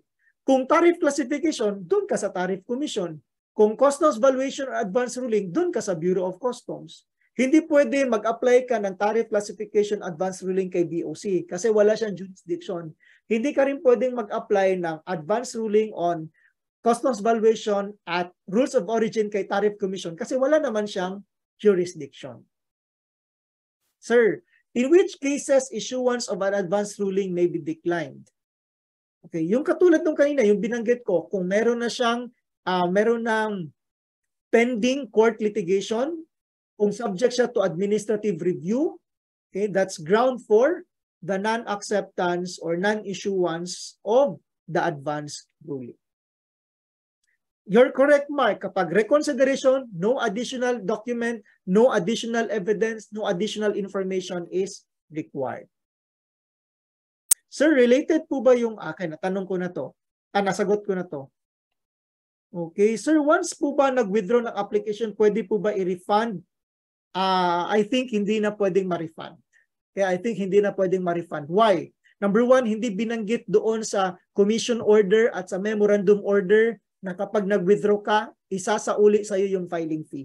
In fact, ang sinabi dito, non-refundable fee. So hindi mo talaga ma, hindi na talaga ma-refund yan sa inyo. Okay, ito lang. Kapag nagbayad ka na sa gobyerno, pahirapan ho yung panghingi ng refund kasi pumasok na yan sa kaban ng bayan. So, so if hindi po kayo tutuloy sa inyong advance ruling, might as well not file na lang ho. Pero ito lang naman yung yung advice ko diyan. Magkano lang naman yung filing fee versus doon sa benefit na makukuha ninyo. 'Di ba? Katulad nung kanina yung pinakita ko sa inyong problem, 600,000 yung ginastos ni importer for storage charges kasi natagalan yung kanyang pag-process ng goods declaration because of a tariff classification dispute. What is 510 versus 600,000 pesos? 'Di ba? Napaka-glaring yung difference. Sir, bakit po kailangan dumaan kay attorney ang mga frozen meat na red? Uh, ano po bang ibig sabihin niyo po dito sa bakit kailangan dumaan kay attorney ang frozen meat. Okay? Kindly expound na lang ho para maisagot na, masagot natin yung tanong. Sir, paano po kung hindi pa rin favorable? Okay, very good question, Lothar.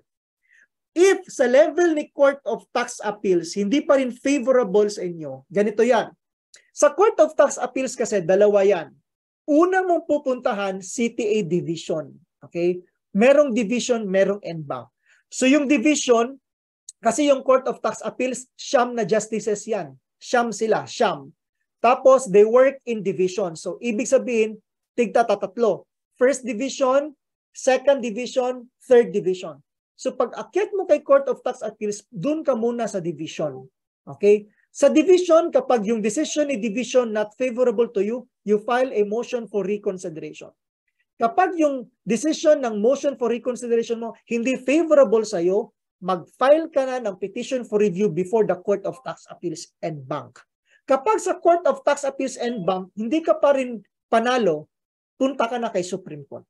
Okay? Supreme Court na. After Court of Tax Appeals, Supreme Court ka na. Okay? Ay, good afternoon po, Prof. Jimsy. Thank you po for the invitation, Prof. Okay, sir, it means, sir, kinuha ng BOC yung sasakyan mo in illegal way. Doon po ba papasok yung sabi nyo na fruit of poisonous tree doctrine? Yes, if yung pagkuha ni BOC ay illegal, if the search is illegal, if the seizure is illegal, then the evidence obtained cannot be admitted. Kasi nga, yung pagkuha illegal. Okay? Yung pagkuha illegal. For example, kapag yung yung sasakyan na imported, kinuha ni BOC na nakaparada sa bahay ni importer. Wala siyang search warrant. Kinuha niya. That is illegal. So yung nakuha na evidence sa illegal search is also illegal. Ibig sabihin, hindi niya pwedeng gamitin yung sasakyan as evidence na ito yung smuggled car, oh, hindi niya pwedeng gamitin yan kasi nga illegal yung pagkuha. Okay? Illegal yung pagkuha. So that is the doctrine of the fruit of poisonous tree. Sir, may chance po ba na ma-amend yung advance ruling? Like for example, mapaikli yung at least 90 days before arrival? Kung babaguhin yung CMTA. Pero kung yan pa rin yung CMTA, yan yung nasa batas at least 90 days prior to importation or exportation, hindi talaga yan mababago. Kapag sinabi sa CMTA na it will only involve one commodity, hindi yan mababago. Unless baguhin mo yung sa MTA. Sir, pwede po ba manghingi ng PowerPoint ninyo? Um, when it comes to that kasi, kapag free webinar, I don't usually give my PowerPoint. Okay, I don't give my PowerPoint. Why? Kasi yung mismong CMO, yung COW, tsaka yung Tariff Commission Order, na-access nyo naman yan sa website ni Tariff Commission tsaka ni Bureau of Customs. Secondly, ito pong presentation ko ngayon, ito pong webinar natin ngayon, ipopost ko po ito sa YouTube channel ko. So in case you need to to view my lecture again, you can always view that in my YouTube channel. So kung titingnan nyo yung tariff, yung presentation ko, makikita nyo rin naman ho yan sa aking YouTube channel. Okay?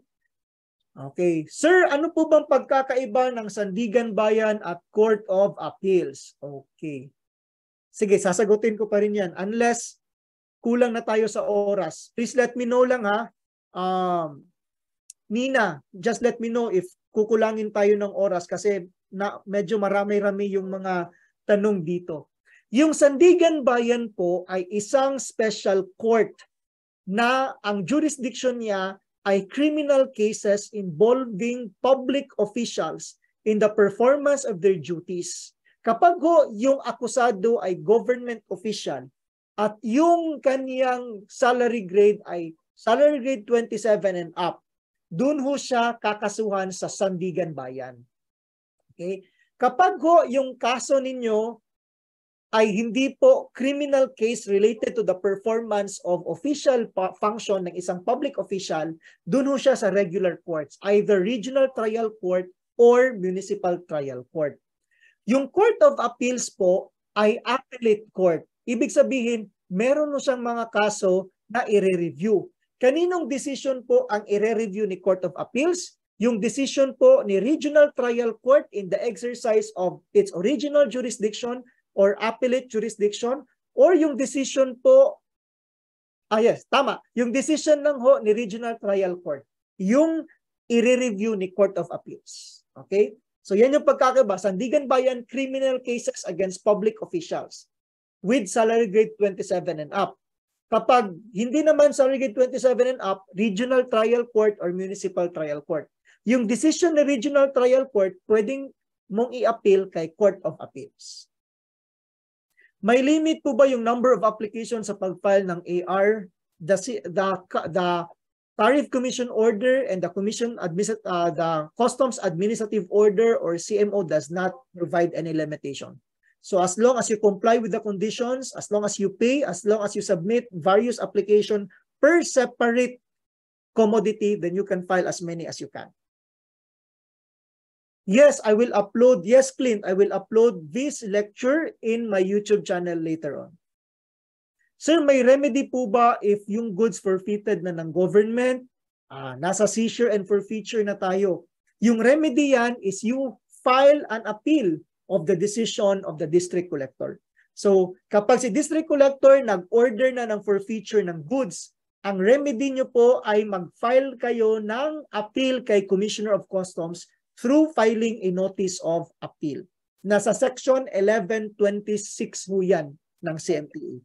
Kapag si commissioner nag-decide pa rin in uh, nag-decide siya for fitting your goods, ang remedy niyo na ho yan, Court of Tax Appeals hanggang umabot sa Supreme Court. Sir, paano po pa mag-deliver ng products sa importer? Wala ka naman pang in-order. Ano pong pwedeng gawin? Pwede kang humingi ng sample sa exporter mo. Okay? Sample lang. Or pwede picture lang.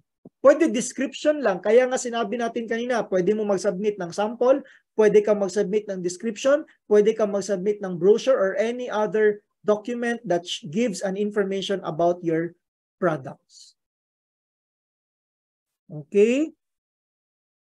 Ano po yung YouTube channel ko? Attorney Erwin C. Andaya LCB. Yan po yung YouTube channel ko.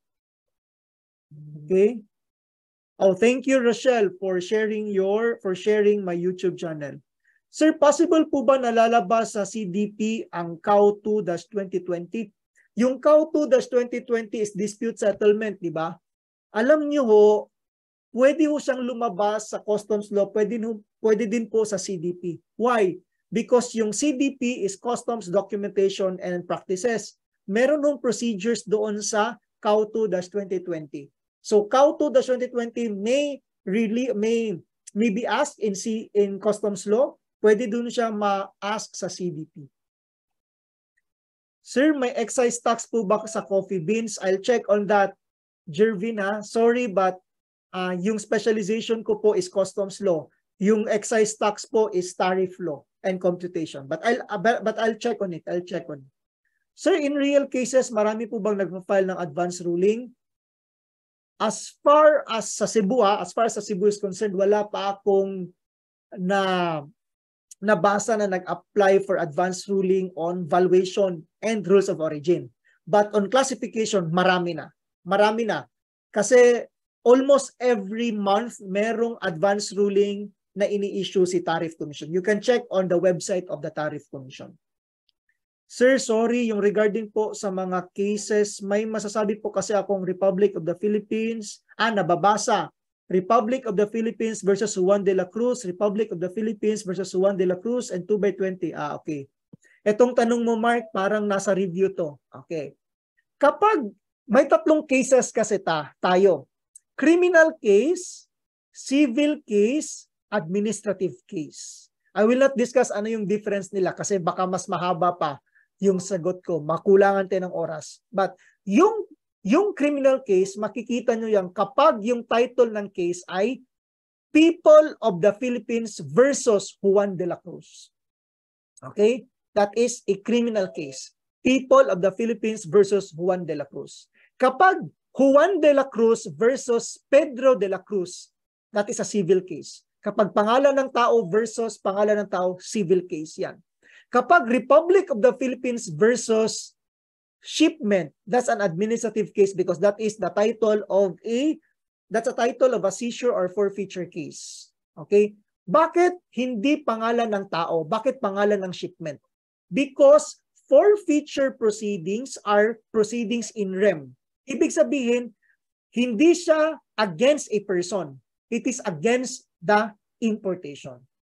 Kaya pag makikita yung WSD, ang title niya, Republic of the Philippines versus 2 by 2 container said to contain so and so. Hindi siya versus importer because it is a forfeiture proceeding. It is a proceeding in rem. It is directed against the shipment, not against the importer. Okay? Kaya nga kapag may WSD, hindi po makukulong yung importer. Ang isisis lang po yung shipment kasi it's against the importation, not against the importer. Sir, agree ka ba na ang CMTA parang babae kasi she is the law? Okay. okay. Sa akin naman po, ah, uh, depende. Depende ho yan. Kasi may mga bagay na masusunod yung lalaki, may mga bagay naman na nasusunod yung babae. So, it depends po on the situation. Okay? I think nasagot na ho natin yung mga tanong. Sir, do you have offers to enroll for customs brokers? Ah, tips. Okay, tips. Yung tips ko po para sa mga customs brokers na gustong mag-aral ng law, you invest in reading po. Um, ang mag ang kagandahan po ng kurso natin sa Customs Administration ay immerse na ho tayo sa batas. Kasi ang pinag-aralan natin mula first year hanggang fourth year hanggang mag-review, batas ho yan. Diba? We have the CMTA, we have international law, we have international agreements, we even read cases. So, meron na ho tayong experience when it comes to reading the law. So, advantage na ho natin yan kapag gusto nating mag-aral ng law. Pangalawang tip, wala pong substitute sa pagbabasa. Kapag gusto niyo pong maging abogado, you really have to invest in reading because how will you know the law if you do not read? How will you know how will you know the case if you did not read the cases? Law school, sabi nga nila, law school is a jealous mistress.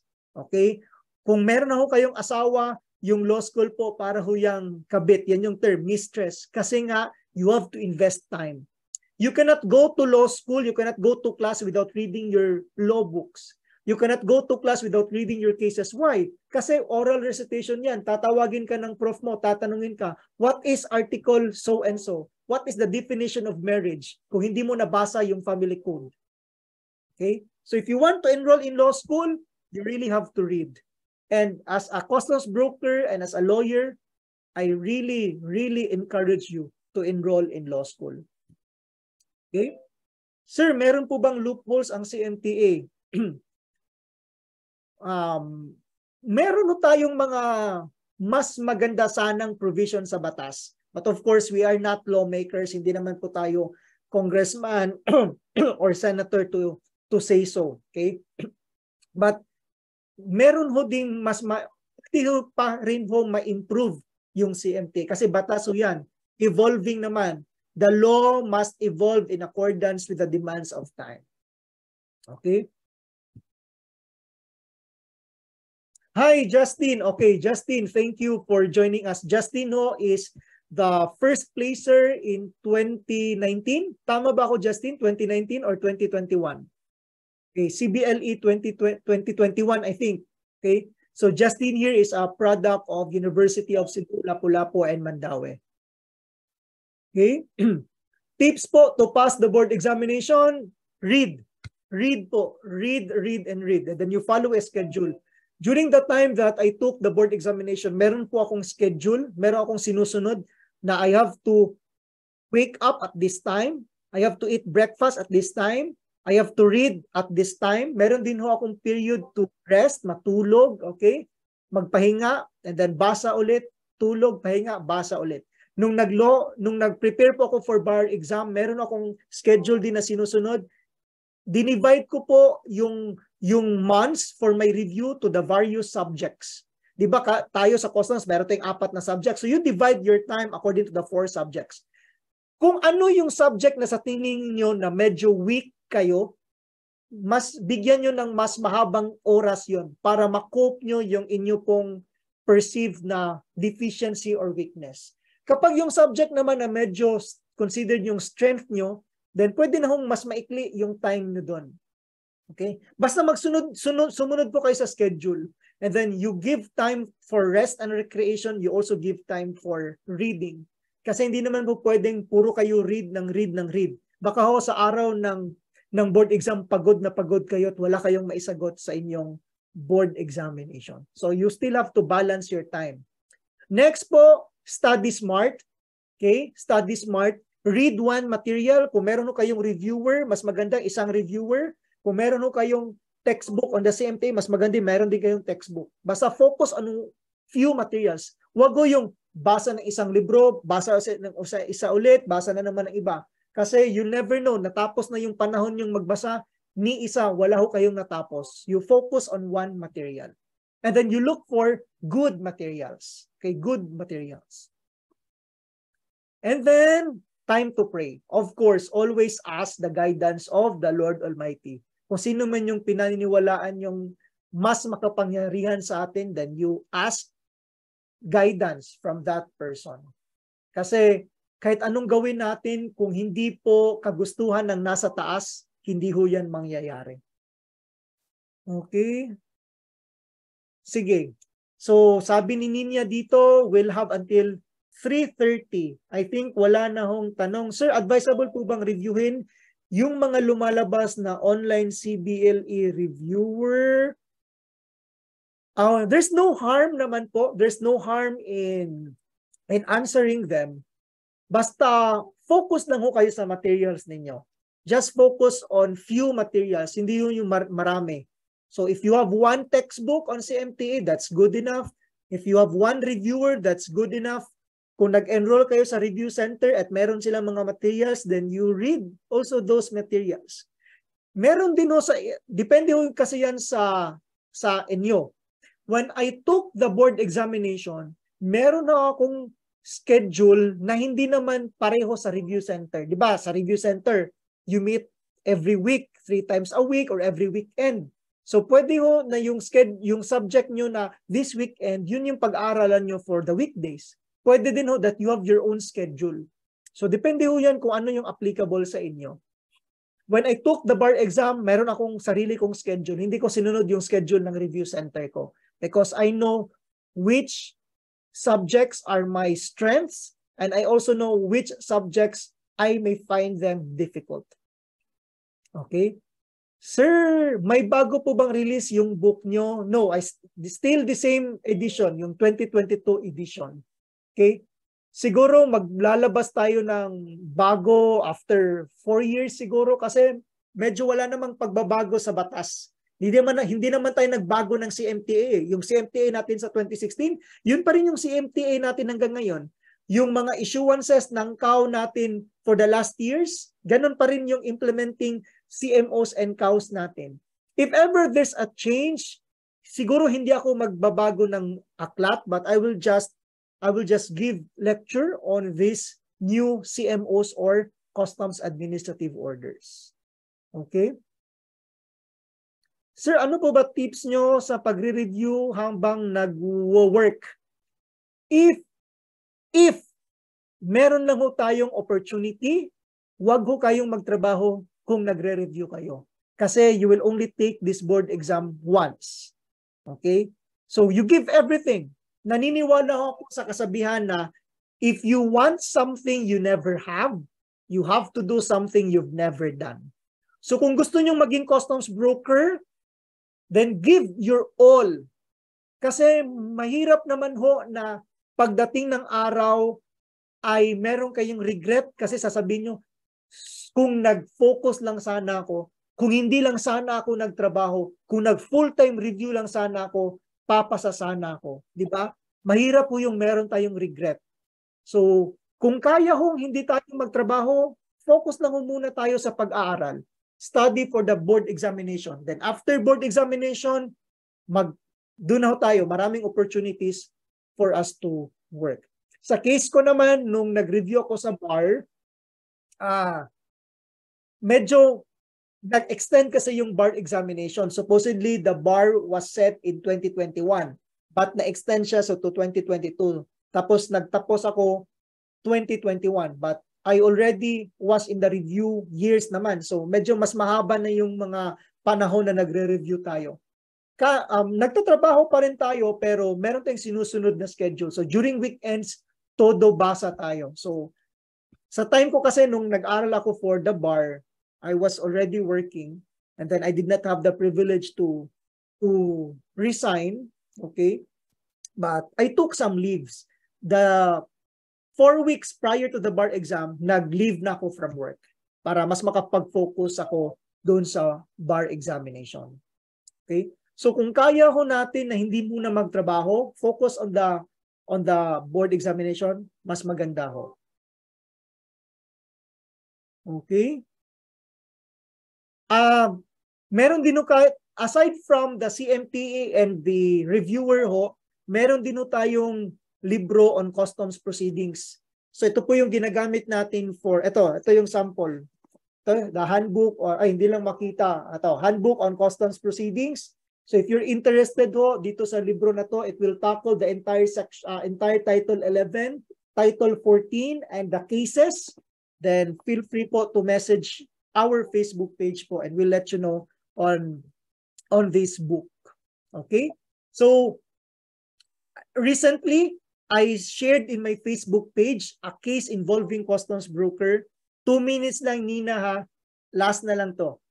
Um, alam ho natin na yung prevailing law po, uh, yung prevailing case pala, I mean, yung prevailing case on customs brokers liability ay yung Remehio versus Andigan Bayan, di ba? We've been discussing that, we've been talking about that. But very recently, 2022 siya, December I think 2022 na decision pero na lumabas lang siya sa Supreme Court website sometime May. Kaya bago ho siyang kaso, yung Danilo Opiniano versus People of the Philippines. Nasa Facebook page ko po yun. If you want to know the case and the new ruling po when it comes to liability of customs brokers, feel free to message my Facebook page po. Kasi we never know. Baka matanong to sa susunod na board examination. Kasi yung Remehio case is always asked every year po.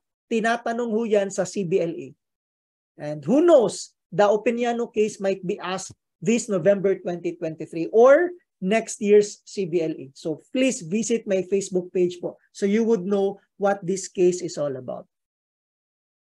Okay? Sige, Nina. So, what's next in the program? So, again, thank you so much for your questions. Napakarami hong tanong ninyo. This is one of the webinars I conducted na napakaraming tanong. Kasi usually kapag nagdi-discuss ako, wala nang masyadong tanong. Okay, so thank you so much po. Thank you so much sa lahat po ng nagtatanong. Prof. Jimsy, good afternoon sir. Thank you for invite for having me po. Nina? Uh, yes, sir. Uh, thank you, Attorney Andaya, for that wonderful and informative discussion. We are honored to have you as our speaker in this webinar. Also, we want to thank everyone's participation and most especially to our Honorable Speaker Attorney Erwin C. Andaya for giving us your time and the piece of your knowledge to help us grow into successful customs brokers in the future. With that being said, we are awarding the Certificate of Appreciation as a token of gratitude. The following award is given to Attorney Erwin C. Andaya this is to certify that he has dem demonstrated exceptional expertise and commendable dedication in sharing comprehensive knowledge on the subject of advanced ruling, customs valuation, tariff classification, and rules of origin, given on the 8th of July 2023, signed by PSCAS PCU Manila President Mr. Rui J. Paz and PSCAS PCU Manila Advisor Mr. Jim P. F. Makawili and the Sibaa Department Dean, Dr. Ariel Dizon Pineda. As we are nearing the end of our webinar, may I please call on the PSCAS PCU Manila Chapter Advisor, Mr. Jim P. F. Makawili, to give us the closing remarks.